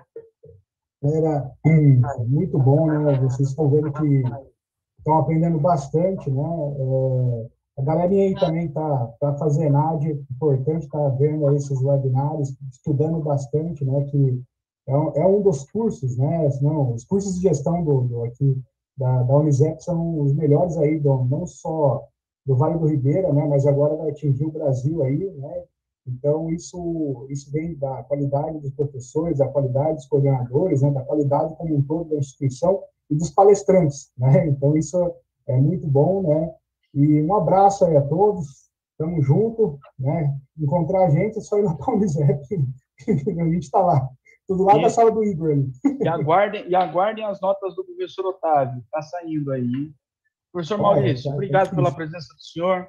Fica com o senhor aí a palavra para esse último recado para os alunos. Tá bom. É, eu queria dizer o seguinte: quando a gente fala de carreira, tem uma parte que depende só da gente, tem outra parte que depende do que a gente aprende com os outros, né? E eu acho assim, eh, primeiro, eu queria dar os parabéns à, à instituição, né, pela pelo evento. Eu queria dar os parabéns aos alunos, porque eu vi que muitos, a grande maioria, ficou até o fim, né? É, parabéns a todos, né? Vocês, quem ficou até agora está no caminho certo. É por aí. É, duas coisinhas. Primeiro, para quem está pensando numa carreira, isso que a gente conversou, que a internet sabe tudo da gente, eu ia dizer uma coisa que meu avô falava para mim, que quem depende de público não pode ter time de futebol, não pode ter partido político, não pode ter religião. Porque você abraçar na, nessa, nesse momento de, de, de, de pessoas que tá, estão polarizadas, se você abraçar um lado, você perde o outro. Então, um, um aviso de, de pai para vocês, assim, que eu aprendi com meu avô. Né? Não aproveite a internet para construir a sua carreira. É, postem coisas de cursos que vocês fizeram, de palestras que vocês é, ouviram, resultados de, de aula, de, de comércio e tal. Não postem fotos na, na balada bebendo só. Não postem, não, não postem nada político. Não é hora de entrar na polêmica. Nós somos administradores generalistas, nós temos que ver o lado bom e ruim de todos os lados. Não, não poste dizendo parabéns ao meu time, time que é polarizado, quem é Palmeiras, quem é Corinthians. Esquece disso, né? Eu posso ter minhas opiniões, mas eu não preciso pôr isso na rede. Sabe por quê? Se você colocar isso na rede, isso vai influenciar diretamente no resultado da tua carreira no futuro. As empresas vão ter acesso a isso e pode ser que você seja de repente excluído por uma postura, né? Porque curtiu lá, detesto segunda-feira, pronto, já é suficiente para você manchar a tua carreira lá no futuro. De repente, ela... segunda-feira é o dia que você chegou para fazer a entrevista daquele emprego que você tanto queria. Exatamente, exatamente. E por fim, dizer que o Conselho Regional está à disposição de todos. É, a gente ficou afastado um pouquinho, mas a gente está disposto a abraçar, né? Vocês aí e ajudar no que a gente puder e ajudar todos os profissionais aí no que a gente puder. Deixar um abraço para todos vocês, agradecer o convite, muito obrigado pelo convite e me coloco à disposição e, eu, e coloco o Conselho Regional de São Paulo para à disposição de vocês aí. Muito obrigado, professor. Bom, pessoal, é, bom, finalizando então a nossa fala de hoje, deixa eu colocar aqui algum, rapidamente né? O Flori já está desmontando as coisas ali, que está fechando a faculdade, né, Flori? Então, é, é, é, só, só informando ali, né, que eu também aqui daqui a pouco já vai bater o sinal. O pessoal não precisa responder lista de presença nenhuma, tá? Conforme eu avisei logo no início da palestra, é, o próprio sistema do, do Simpla já verifica, ó, a inteligência artificial aí, já classifica a hora que você entrou na palestra, a hora que você saiu da palestra, quanto tempo você participou dentro da palestra e faz a sua o seu registro de presença e de frequência para a certificação no final do evento, tá bom? Então não esquentem a cabeça aí com o a, a, a assinar a lista de presença. Amanhã, o professor comentou aqui sobre administração de condomínio. Na quinta-feira, não percam a, a, palestra do Arthur de, do Sindicato de, de Condôminos do Paraná sobre administração de condomínio. Tá? Olha aí na, na, na, fala do professor o quanto essa área de condomínios tem, tem evoluído, a quantidade de pessoas buscando segurança dentro de condomínios fechados, é, as, as, as, as, moradias é, verticais, os prédios, tá? não são mais novidade em lugar nenhum. Então, não percam a palestra aí na quinta-feira do Arthur sobre administração de condomínios. E amanhã, palestra do Conselho Regional de Contabilidade do Estado de São Paulo, né, o Conselho Irmão aí do Conselho Regional de Administração, né, as profissões estão próximas aí, e então aguardo vocês aí amanhã com a palestra do Conselho de Contabilidade. Moçada, muito obrigado pela presença de todos, uma boa noite a vocês, Deus abençoe, e amanhã no mesmo horário estaremos aqui. Professor Maurício, Otávio, Fleury, professor Renaldo, no backstage aí. Muito obrigado a todos os professores que estavam conosco, professor Ney, com o pessoal lá de São Lourenço. Gente, Deus abençoe vocês e até a próxima, pessoal. Obrigadão. Tchau, tchau. Estão abertas as inscrições para o vestibular da Unisep Educacional. Inscrições pelo site unisep.pe/veste ou na unidade mais próxima. Vestibular digital é com a Unisep Educacional. Escolha o seu curso e venha mudar o seu futuro.